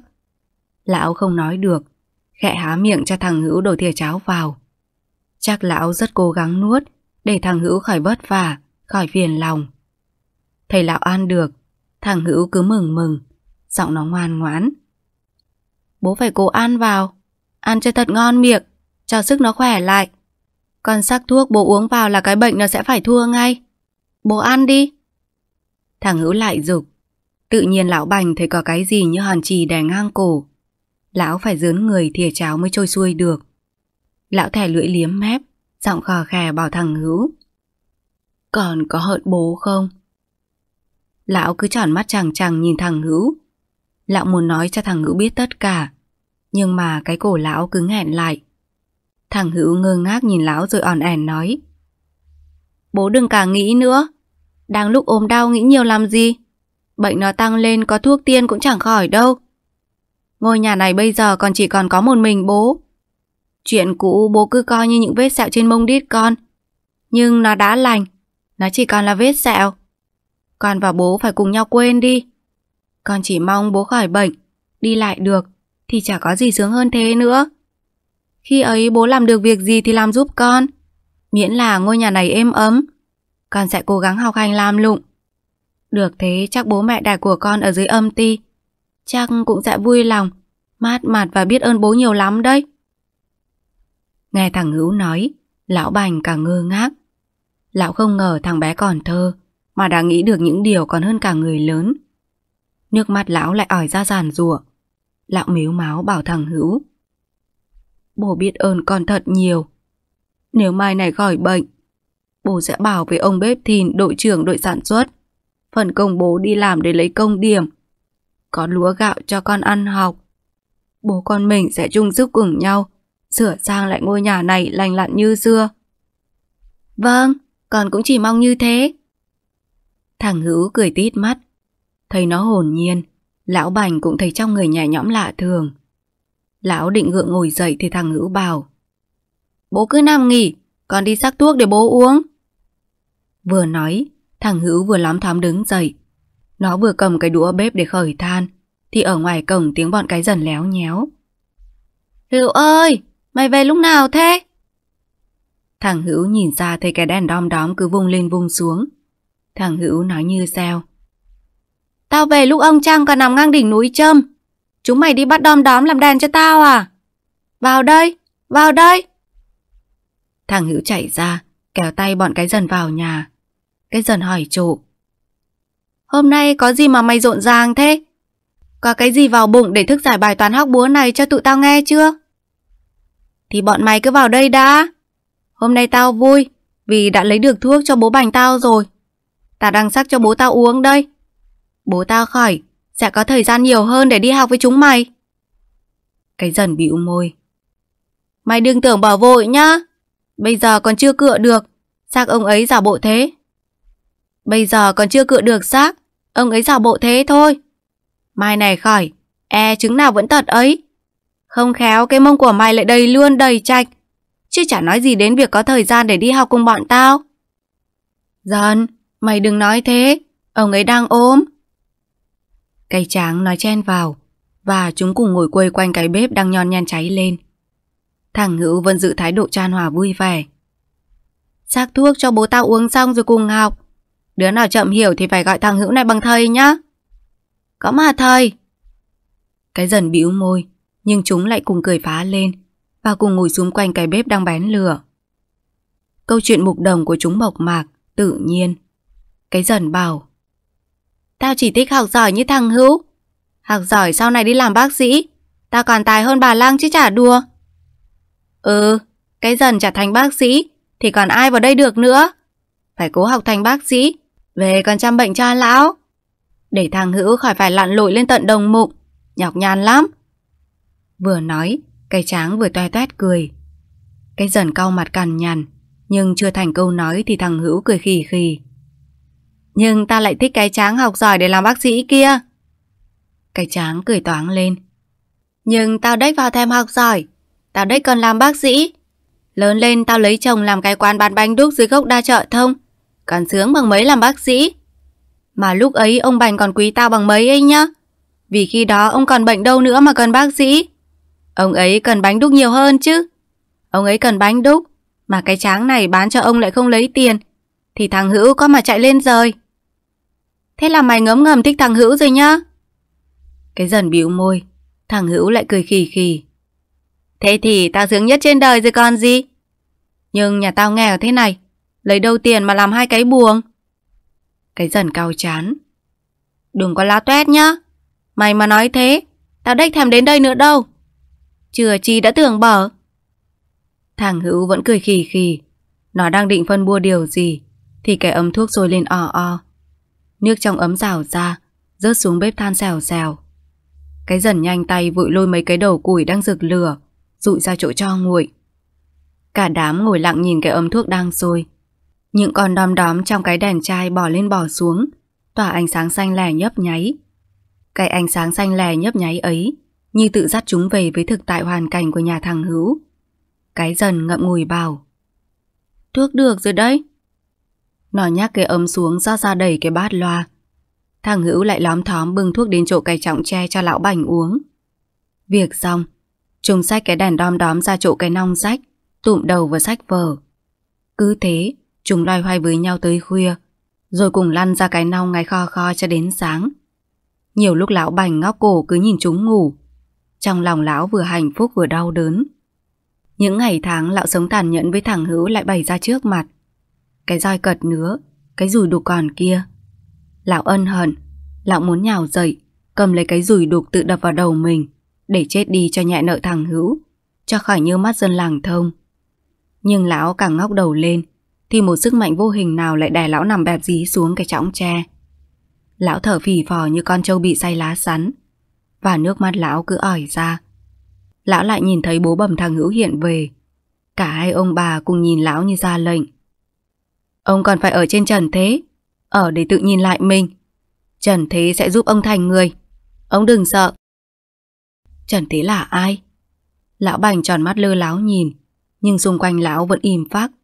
Chỉ có tiếng gió trời phần phật, thổi vào mái lá rào rào, và tiếng ngáy khò khò của đám trẻ ở cái nong rách. Như nhận ra điều gì, lão biết lão còn nợ nần với Trần Thế. Lão quẩy tay lau những dòng nước mắt đang ỏi ra ở hai hốc mắt, và khẽ ngớn tay tự bưng bát thuốc thằng Hữu để ở cạnh cái chõng lên uống. Uống hết bát thuốc, lão quay mặt vào vách thiêu thiêu ngủ. Tảng sáng lão đã tỉnh giấc, khắp người lão ê ẩm, cái ê ẩm như bị ai dần. Lão ngọ nguậy và thấy cả hai bàn chân bàn tay đều co ra duỗi vào được. Lão tựa tay vào thành cái chõng tre ngồi dậy. Lão đảo mắt nhìn ra cái nong ở gió hè. Mấy đứa trẻ vẫn co quắp bò nhau ngáy khò khò. Lão khẽ cất giọng. Hậu ơi, sáng rồi đấy. Nghe tiếng lão gọi, đám thằng Hữu vội bật choàng dậy. Thầy lão ngồi thằng Hữu vừa mừng vừa lo. Nó hấp tấp chạy lại đứa nhẹ bàn tay ngang vai lão, giọng vẫn hồi hộp. Bố làm sao ạ? Bố buồn đi đái để con dìu đi. Không, thấy người đau ê ẩm, bố cố gượng dậy cho nó sảng khoái một tẹo thôi. Uống cây thuốc này khéo không ưa, nên đau người lắm. Lão thở ra và tròn mắt nhìn thằng Hữu. Thằng Hữu cười gian lên. Cái dần bảo. Sao mày lại cười? Tao mừng quá mà. Bà lang bảo, uống thuốc vào mà thấy cơ bắp khắp người đau, là cái bệnh nó đang chuyển. Như vậy là lão... À chết, bố tao gặp thầy gặp thuốc rồi đấy. Chắc là uống hết ba thang thuốc này, bố tao sẽ đi lại được thôi. Ông ấy mà đi lại được, thì phải chuẩn bị sẵn lấy mấy cái mo cao khô dày dày bịt vào đít. Cây dần bĩu môi, lườm về phía cái chõng tre, và chúng lẳng lặng thu sách vào cúi đầu đi. Thấy thái độ của mấy đứa hơi khó chịu, lão bành nhìn theo bảo. Từ nay chúng mày cứ đến đây mà học. Lúc nào khỏi bệnh, tao sẽ đóng cho cái bàn dài. Cái dần lý nhí nhại lại lão. Lão có mà đóng cái nút ở cái cút. Nói rồi, cả đám cùng cười phá lên, và chúng cắm cổ đi. Thằng Hữu đứng ngẩn nhìn theo rồi nói như réo. Đợi tao ở chỗ cây gạo nhà bà thằng, rồi cùng đến trường nhá. Mấy đứa quay lại gật gật cái đầu, rồi lại cắm cổ chạy. Lão bành tròn mắt tần ngần nhìn thằng Hữu, giọng lão nghẹn nghẹn. Xem trong nồi còn cháo, con múc ăn mà đi học, bố chả ăn được đâu. Thằng Hữu ngoan ngoãn bảo, bố phải cố ăn, ăn xong còn uống thuốc nữa kia mà. Chúng nó nói gì kệ chúng nó bố ạ. Nói rồi, thằng Hữu lại lóm thóm một mình cởi bếp rác thuốc và lấy cháo cho lão ăn. Việc đâu vào đấy, nó mới khoác cái túi dép ngang vai, chào lão rồi tung tăng đi ra cổng. Vừa đi nó vừa hát. Khăn quàng đỏ tươi. Lão bành nhìn theo thằng Hữu, thấy lòng dạ tự nhiên cứ dối bời đau đớn. Nhớ lại những ngày qua, lão tự nghiệm ra rằng lão không bằng nó. Lão chỉ hơn nó cái tuổi tác và quyền hành. Lão đã dùng quyền hành tác quái lên đầu nó bao nhiêu trận đòn khủng khiếp và tiêu phá hết gia phong tài sản mà bố bẩm nó đã thắt lưng buộc bụng suốt đời để lại cho nó. Lão thầy lão đúng là một con súc vật, chứ không phải là một con người. Lão ôm mặt khóc tu tu và nằm bẹp xuống cái trọng tre. Vừa lúc ấy, bà Tứ cũng xách cái túi đầy gạo và trứng vịt từ ngoài cổng đi vào. Thấy bà, lão vội vàng ngồi nhòm dậy. Bà Tứ bảo Ông cứ nằm mà nghỉ Uống cái thuốc vào có thấy trong người thay đổi gì không? Tôi có ít gạo ít trứng mang biếu ông đây. Nói là biếu cho nó vui. Còn thực chất là công lao của thằng cháu hữu. Nó đi lùa vịt cho tôi những buổi chiều đấy. Thằng bé ngoan và có chí hướng lắm. Ông cứ tin vào nó. Cố thuốc thang cho mau khỏi. Làm cái trụ nhà cho nó dựa. Là con người với nhau. Mình quý nó, yêu mến nó. Nó sẽ có đức hiếu với mình. Cớ gì đâu cứ phải máu mủ ruột thịt. Tôi nghĩ giời đã đem vật báo cho ông mà ông không biết đấy. Bà tứ thở dài. Lão bành nói như khóc. Bà nói tôi càng tỏ nhiều ra. Nhưng khổ mọi việc cũng đã rồi. Tôi có hối cũng chả kịp. Thằng Hữu nó làm sao quên được những trận đòn đã thành sẹo hẳn trên thân thể nó. Và cả bầm nó. Chắc gì ở nơi suối vàng, Bà ấy thứ tội cho tôi được. Vì giá sản bà ấy để lại cho hai chị em nó. Tôi đã đổ cả vào chai cút. Ngay cái bàn thờ gia tiên cúng đó phủ đầy mạng nhện. Tôi đã thành kẻ bất lương bất nghĩa rồi. Có hối cũng chả kịp. Có lẽ tôi cũng phải tìm cách ra khỏi ngôi nhà này thôi. Chứ ở đây... Lão bảnh thở dài Và cứ dương mắt nhìn bà Tứ chân chân Thầy lão bế tắc quẫn cùng, Bà Tứ cười hiền lành. Ông đừng cả nghĩ quá mà lẩn đường. Ông cứ tin là rời đang mang cho ông vật báu. Có điều trước ông chưa thấy. Bây giờ thấy rồi. Ông phải kiên tâm chữa bệnh và bảo thằng Hữu sửa sang lại cái bàn thờ đi. Trong một gia đình mà không có cái bàn thờ Thì nó không phải là một gia đình đâu. Còn những vết sẹo trên người thằng Hữu Rồi nó sẽ quên. Còn trẻ mà. Miễn là từ giày ông sống như bố nó thật. Mọi vết thương Rồi cũng được kín lành lại. Kể cả câu chuyện giữa ông Tôi, bà Khăn Và bầm của thằng Hữu nữa. Có điều là mình phải biết cùng nhau tẩy xóa đi. Để có một ngày mai êm đềm, Ông cũng trở lại nếp vốn như bấy nay Cái làng này vẫn có. Ông cứ tin điều tôi nói. Bà Tứ nhìn lão bành bằng đôi mắt nhân ái đầy sự vị tha. Giọng bà ân cần hơn. Ông phải bình tâm Cổ ăn uống đều đặn, Thuốc men đúng lời bà lang đã dặn. Bây giờ tôi phải về đây. Nói rồi, Bà Tứ lặng lẽ đứng dậy. Lão bành nhòn người nhìn theo bà. Trong lòng lão như có ánh lửa nhòe sáng. Lão mơ hồ nhìn bà, Như thấy một cái gì tuy chưa rõ hình thù, Nhưng nó rất êm ấm. Lão tự nhủ, Phải nói hết những tối tăm của đời lão cho thằng Hữu biết. Khi nó đã biết, Nó sẽ vơi đi sự trách oán mình. Nghĩ vậy, Lão khẽ nhòn người dậy Bừng bát thuốc thằng hữu sắc để trong cái loa uống. Chương 4 Buổi trưa thằng hữu đi học về Thầy lão bành đang lọ mọ trống gậy tập đi Nó cười sung sướng Thế là cái thuốc của bà lang đồng bụng Bắt đầu đuổi con bệnh ra ngoài được rồi đấy bố ạ Thấy thằng hữu hồn nhiên Lão bành ngậm ngùi Bố cũng đang cố gượng tập để tự đi lại được cho con bớt vất vả À, bà Tứ mang cho nhà ta gạo và trứng vịt đây. Ở trong cái túi kia kìa. Còn cất sách vở, rồi khều lửa nấu cơm mà ăn con ạ. Giọng lão bảnh ân cần, thằng Hữu cười tít cả hai mắt. Nó tăng tưởi treo cái túi sách vào cái đanh ở chỗ cột nhà, rồi mở cái túi bà Tư đem cho. Nó ứa nước mắt vì thấy trong cái túi đầy gạo và trứng vịt. Nó ngậm ngùi bảo lão bành. Trưa nay bố con mình làm chút canh trứng nấu với cà chua bố ạ. Nói rồi, nó lại lóm thóm vào bếp khởi lửa. Lão Bành vẫn lọc thọc lê cái gậy vòng quanh nhà. Dường như lão muốn nói điều gì với thằng Hữu. Nhưng cái cổ cứ nghẹn đắng. Lão ho khủ khủ. Thằng Hữu bảo. Bố mệt rồi thì nghỉ đã. Tập nhiều cũng không hay lắm đâu. Bố lại chẳng nằm nghỉ một lúc cơm chín thôi mà. À, còn có kế hoạch này bố nhá. Giọng thằng Hữu sôi nổi. Con định khi bố khỏi hẳn bệnh, bố con mình làm cái lễ, bố sẽ đi cùng con lên bản đồng mụng để dâng siêu cây thuốc và cũng nhân đó bố nói lời cảm ơn bà lang. Chắc là bà ấy sẽ mừng nhiều đấy bố. Ừ, cứ biết thế đã con ạ. Nhưng trong nhà bây giờ có còn cái gì đâu để bán lấy tiền mà sắm lễ. Lão bành thở dài, thằng hữu hồn nhiên. Bố không sợ đâu, con có mà. Chị Sơn đi lấy chồng, để lại cho con đồng bạc trắng. Đồng bạc của bầm con dành cho chị ấy mà. Con sợ bố biết bán uống rượu hết. Con vùi ở dưới đáy cái vại nước bao nhiêu ngày rồi mà bố không biết. Bây giờ bố không uống rượu nữa. Nhà lại có việc khó khăn. Con bới lên để dùng. Sắm lễ sale cây thuốc mà con. Con sẽ nhờ bà Tứ lên cửa hàng thuốc ở Khổng Xuyên. Mua thuốc bổ về cho bố uống. Uống cho bố thật khỏe. Khi bố có sức khỏe rồi, bố con mình sẽ ngả bụi tre ở góc vườn. Nhờ bọn thằng Tùng cái dần cùng xuống vào, trẻ nan đan phên vách. Và lấy dơm dạo băm nát ra nhào với đất bùn, chít chát lại phên liếp quanh nhà cho thật kín đáo để ở bố nhỉ.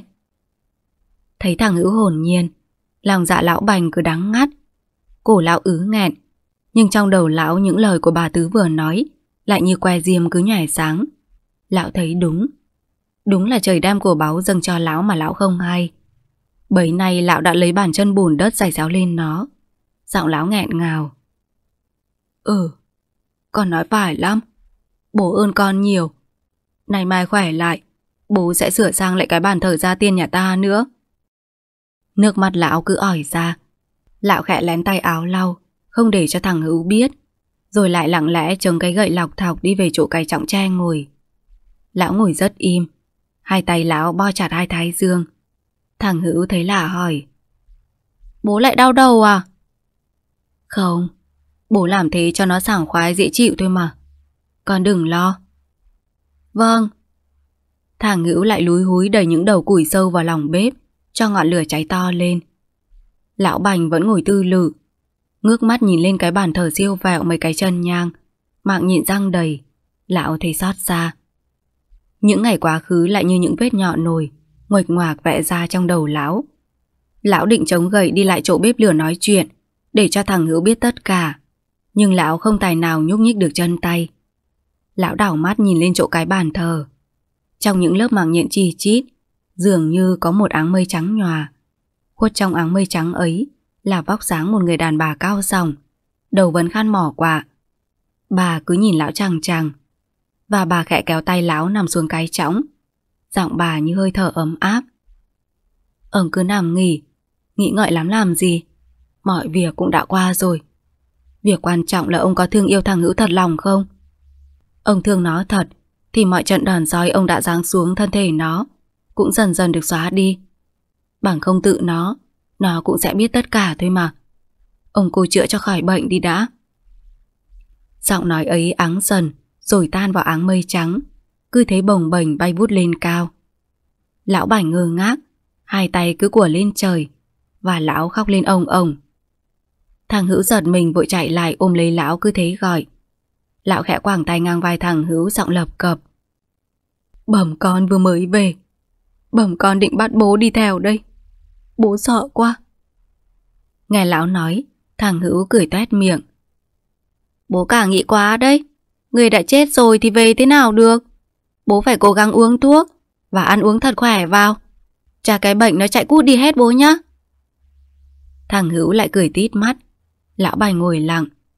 Nắng buổi trưa rồi xuống căn nhà những giọt nắng méo mó kỳ lạ.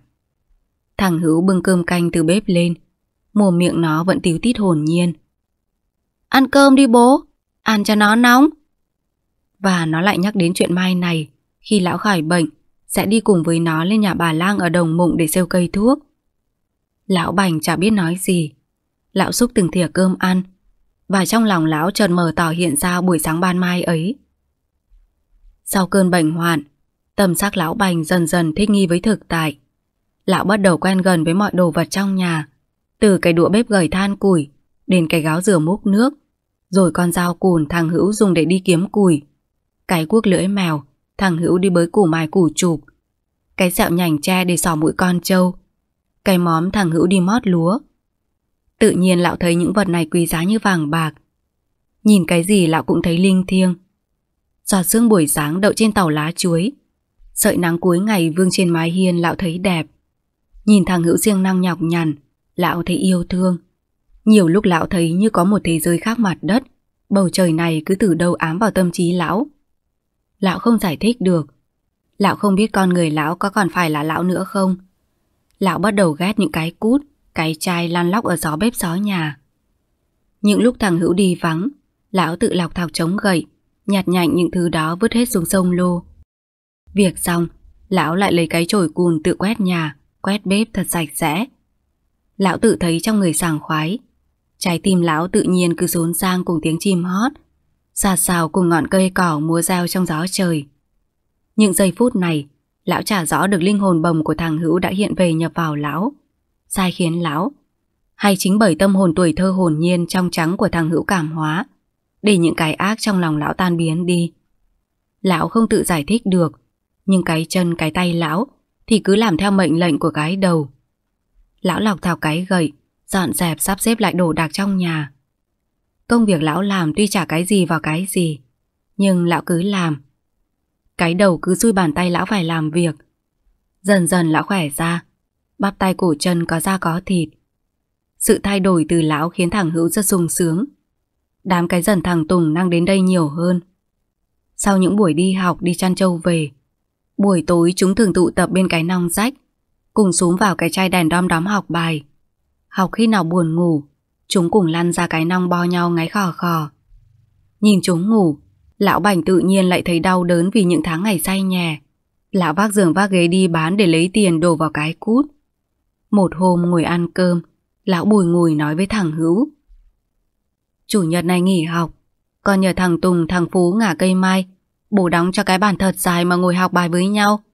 Quay vào cái nong nom khổ lắm. Vâng, nhưng mà phải để bố thật khỏe đã. Bố khỏe, con còn phải dẫn bố lên đồng mụng, xêu cây thuốc của bà lang nữa kia mà. Thằng Hữu cười sung sướng, lão Bành cũng cười theo. Giọng lão bùi ngùi. Bố cũng chưa biết tục lệ này như thế nào cả. Vải tiền nong nhà ta bây giờ lần đâu ra. còn học bài còn phải dùng cái đèn đom đóm đi thôi. Bố lại nghĩ quẩn rồi. Nghĩ quẩn là phụ cây thuốc của bà lang đấy. Ngày con đến lấy thang thuốc cuối cùng để về triệt sạch cái bệnh trong người bố. Còn có hỏi chuyện sale cây thuốc. Bà lang chỉ cười bảo. Sale cây thuốc không ai tính được giá cả. Mà phải tính bằng tấm lòng thành con ạ. Tấm lòng thành. Lão bài ngần người. Lão cũng chẳng biết lão có còn tấm lòng thành nữa hay không. Nhưng lão vẫn ngậm ngùi bảo thằng Hữu. Ừ, hôm nào sắm được lễ thì bố bảo. Lễ có rồi bố ạ. Nhà ta vẫn còn đồng bạc trắng của bầm cúc để lại. Con mới moi ở dưới đáy cái vại nước lên. Thế mà bố đã quên rồi. Bố đã khỏi bệnh, mình xêu một đồng bạc trắng. Chứ có 10 đồng bạc trắng cũng chả thấm gì. Còn chắc đồng bạc này bà Lang rất cảm động. Vì nó là vật vô giá bầm con để lại mà. Con nghĩ đây mới là tấm lòng thành đấy. Cho dù nó chả to tát gì. Hôm con lấy ba thang thuốc đầu tiên, con đã đưa đồng bạc này ra. Nhưng bà Lang chưa nhận. Bà bảo khi nào khỏi mang lễ rêu. Bà ấy bảo con, nhưng không hiểu tại sao bà ấy cứ nhìn đồng bạc rồi lại thở dài. Con chả dám hỏi gì thêm. Nhưng con nghĩ khi nào bố khỏi, con vẫn mang đồng bạc này thay cho lễ vật. Con sẽ nói rõ sự tích đồng bạc này. Đảm bảo bà Lang sẽ rất cảm động. Bà sẽ tin đây là tấm lòng thành của bố con mình với cây thuốc quý đó. Có phải thế không bố nhỉ? Lão bành tròn mắt, Lão cũng không rõ trong lòng lão có còn tấm lòng thành nữa không? Và cái bà lang đang chữa bệnh cho lão là ai? Lão mơ hồ tìm kiếm trong ký ức. Nhưng cái đầu lão thì cứ tối om om. Cổ lão tự nhiên cứ nghẹn đắng lại. Nước mắt lão lại ỏi ra đầy hai hốc mắt. Lão nhìn thằng Hữu khẽ gật đầu. Thằng Hữu lại cười tít mắt Và gắp thức ăn vào bát cho lão. Chợt từ ngoài cổng có bước chân người. Thằng Hữu nhìn ra thấy bác bếp thìn và cả cái bầm, cái dần cùng bà Tứ đang từ ngoài cổng đi vào. Giọng bác bếp thìn oang oang. Thế nào? Chú Bành đã khỏe hẳn chưa? Ăn được mấy bát cơm rồi. Vừa nói, bác bếp thìn vừa lạch bạch bước vào nhà. Mọi người cùng vào theo. Họ cùng ngồi tụm xuống cái chõng tre. Lão Bành ngẩng mặt nhìn mọi người giọng bùi ngùi. Em khỏi rồi. Cứ tưởng phải ra vườn hốn nằm với bầm thằng hữu. Ai ngờ rời còn cho sống. Và cũng phải nhờ ơn bà Tứ với thằng cháu hữu này nhiều lắm đấy. Lão Bành lại chép miệng thở dài. Bác bếp thìn bảo. Thế là may là phúc đức lắm rồi. Đừng có nghĩ ngợi nhiều làm gì. Cái gì đã qua là qua. Nhớ làm gì? Cố mà ăn uống vào cho nó thật khỏe. Còn đi làm công điểm với bà con chứ. Bây giờ làm ăn hợp tác rồi. Vui lắm. Chú khỏe. Tôi lại cử chú vào cái chân bảo vệ của hợp tác xã. Công việc ấy chú vừa giúp được thằng Hữu chăn con trâu. Cho nó đi làm thêm những việc nhẹ. Vừa với lứa tuổi nó. Để có thêm hạt lúa. Bố con nuôi nhau ăn học và sửa sang lại cái nhà cửa cho thật đàng hoàng vào. Nói rồi bác bếp thìn cùng bày trứng gà, gạo nếp xếp lên cái chóng tre. Lão bành tròn mắt nhìn mọi người. Tự nhiên nước mắt lão cứ ứa ra. Thằng Hữu thì khoanh hai tay lên ngực giọng ỏn ẻn. Cháu cảm ơn các bác, các bá. Bác bếp thìn xoa đầu nó và nói với mọi người. Thằng bé vừa ngoan, siêng năng chăm chỉ lại học giỏi. Ông giáo thuyền hết lời khen đấy. Thôi, bố con cứ ăn uống tự nhiên. Đến ngó nhau một tí. Khỏe thế này là mừng lắm rồi. Vừa nói, mọi người cùng đứng dậy. Thằng Hữu lại khoanh tay chào và tiễn chân mọi người ra tận cửa. Lão Bành ngừng nhìn theo. Nước mặt lão lại ỏi ra để hai hốc mắt. Gió ngoài cánh đồng cây mơ thổi vào, rào rạt trên mái lá. Xa xa phía chân trời, vài ngôi sao dậy sớm đang nhấp nháy, rủ nhau bỏ xuống đỉnh núi châm. Mấy con đom đóm ở trong cái đèn chai bắt đầu động đậy bò ngược bò xuôi, tỏa ánh lân tinh nhấp nháy trong cái chai. Lão Bành ngậm ngùi bảo thằng Hữu. Giảm lấy cái đèn mà học cho nó rõ chữ con ạ. Dùng cái đèn đom đóm, nó nhập nhòe hại cái mắt lắm. Vâng, nhưng bây giờ nhà ta chưa có tiền, đành phải khắc phục dần dần thôi bố ạ. Ngày xưa nhiều người nghèo cũng phải học bằng đèn đom đóm, nhưng còn phải đựng vào quả trứng. Thế mà họ còn học được thành trạng nguyên đấy bố ạ. Mình có cái chai thủy tinh thế này, còn tốt hơn nhiều bố khỏi lo. Nói rồi, thằng Hữu lại sai cái chai cắm cổ chạy một mạch ra cổng. Bóng nó lẫn vào trời đêm nhập nhòa. Lão Bành biết nó lại ra đồng bắt thêm đom đóm thả vào cái chai. Trong đầu lão tự nhiên như có những ánh sáng lân tinh tỏa sáng. Lão nằm lặng và cứ thế ngủ thiếp đi. Thằng Hữu từ ngoài đồng về, thấy lão ngủ ngon. Nó khẽ gión chân ra chỗ cái nong mở sách ra học bài. Một lát thì đám cái dần, thằng Tùng cũng lục đục kéo đến. Chúng lặng lẽ tụm cả vào cái nong. Gặp phải bài toán khó, chúng vò đầu cán bút. Thằng Tùng bảo Đứa nào làm được bài toán này trước thì được ngủ cạnh cái dần. Thằng Phú cười tít mắt. Thế thì lại béo thằng Hữu thôi. Cái dần cau mặt. Béo bở cái chó gì? Từ nay cứ học bài thuộc xong là tao về. Bấm tao bảo thế. Tao đếch thèm ngủ đây với bọn mày nữa. Ngủ bọn mày ngáy như giấy suốt đêm. Ai chịu được? Mà lớn rồi, con gái không được ngủ lẫn với con trai. Ngủ cùng chứ ai bảo là ngủ lẫn. Cùng hay lẫn cũng thế? Thôi, học bài đi. Phải làm bằng được bài toán này thì mới đi ngủ. Cả đám lại tụm đầu vào cái đèn chai. Công việc của đám trẻ những buổi tối tại căn nhà phên chai lợp lá đã siêu vẹo này, cứ như những ánh lửa tỏa vào tâm trí lão bành. Lão cảm thấy những ánh lửa này đã thắp sáng và sưởi ấm cho tâm hồn lão sống lại. Đêm nay, khi đám trẻ lan ra ngủ, lão lọ mọ đi lại chỗ cái nòng sách, mấy đứa trẻ đang bo nhau nằm ngáy như dế. Lão ngó nhìn những con chữ nhập nhòe qua ánh sáng, từ đít những con đom đóm tỏa ra. Lão chả biết gì, nhưng tự nhiên lão thấy lạ. Không biết tại sao từ những nét chữ chi chít thế kia, mà sao nó lại có sức thu hút bọn trẻ mê mẩn quên ăn quên ngủ, nhất là thằng Hữu. Lão đã từng đốt hết sách vở, đánh nó làn mông, rách đùi. Thế mà nó vẫn thì thụt với cái dần con bà dậu, tìm mọi cách để học cái chữ. Đúng là những cái chữ kia có phép, có hồn ma của ông bà Cúc nhập vào thật. Lão nghĩ đơn sơ vậy, và lão lặng lẽ sắp xếp lại những quyển sách quyển vở gọn gàng vào một chỗ. Rồi lão ngồi tựa lưng vào cái cột nhà, nhìn chúng ngủ ngon lành. Lão tự thấy mình phải có trách nhiệm lớn trong cái nhà này, thì mới làm thanh thản được linh hồn của bố bẩm thằng Hữu ở nơi chín suối. Lão thổn thức khóc. Thằng Hữu giật mình thức dậy, thấy lão tựa cột nhà hai tay bo mặt. Thằng Hữu giòn rán lại gần, giọng nó thủ thỉ hồn nhiên. Bố đi ngủ đi, khuya lắm rồi đấy bố ạ.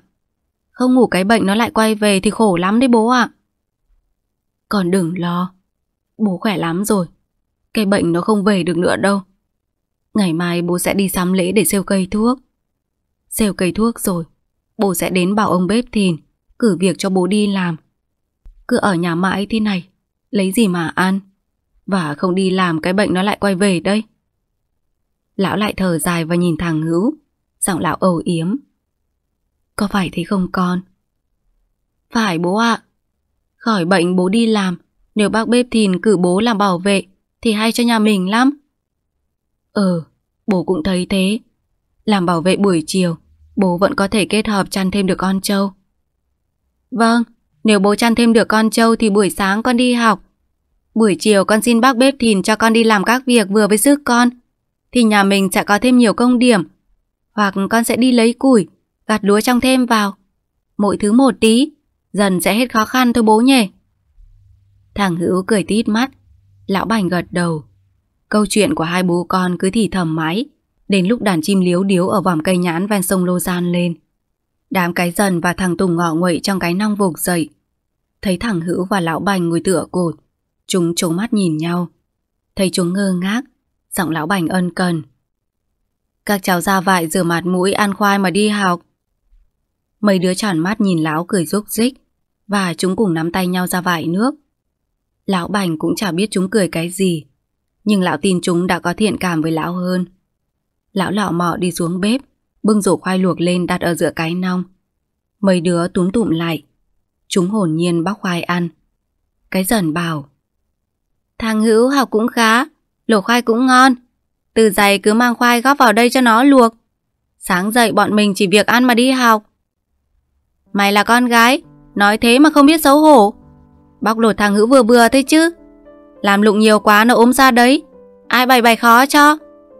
Thằng Tùng lào bào. Cái dần bĩu môi, nó chưa kịp nói thì thằng Hữu cười khì khì. Khoai bố tao luộc đây.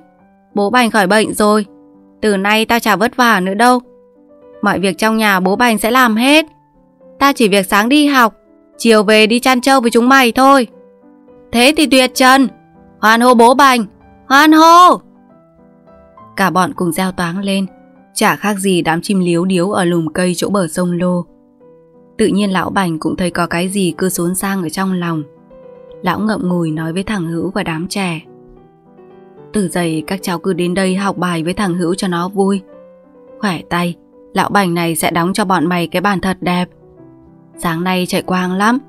Đi học nhớ đội nón đội mũ vào. Không có buổi trưa về nắng các cháu nhá. Thằng Hữu và đám trẻ cùng đồng thanh. Vâng ạ, vâng ạ. Và chúng cùng nhau đeo túi, cắp sách tung tăng đi ra cổng. Vừa đi chúng vừa hát. Đây một mùa xuân trăm hoa hé tưng bừng. Lão Bành chống tay vào cái gậy nhìn theo đám trẻ. Lòng lão giạt rào như có cơn gió lạ tràn qua. Quý thính giả vừa nghe xong tập 1 của tiểu thuyết Đồng làng đom đóm. Hãy ủng hộ kênh của Vân bằng cách nhấn nút đăng ký kênh và đón nghe chuyện vào 20 giờ tối hàng ngày trên kênh nhé. Hẹn gặp lại quý thính giả trong chuyên mục đọc truyện sau.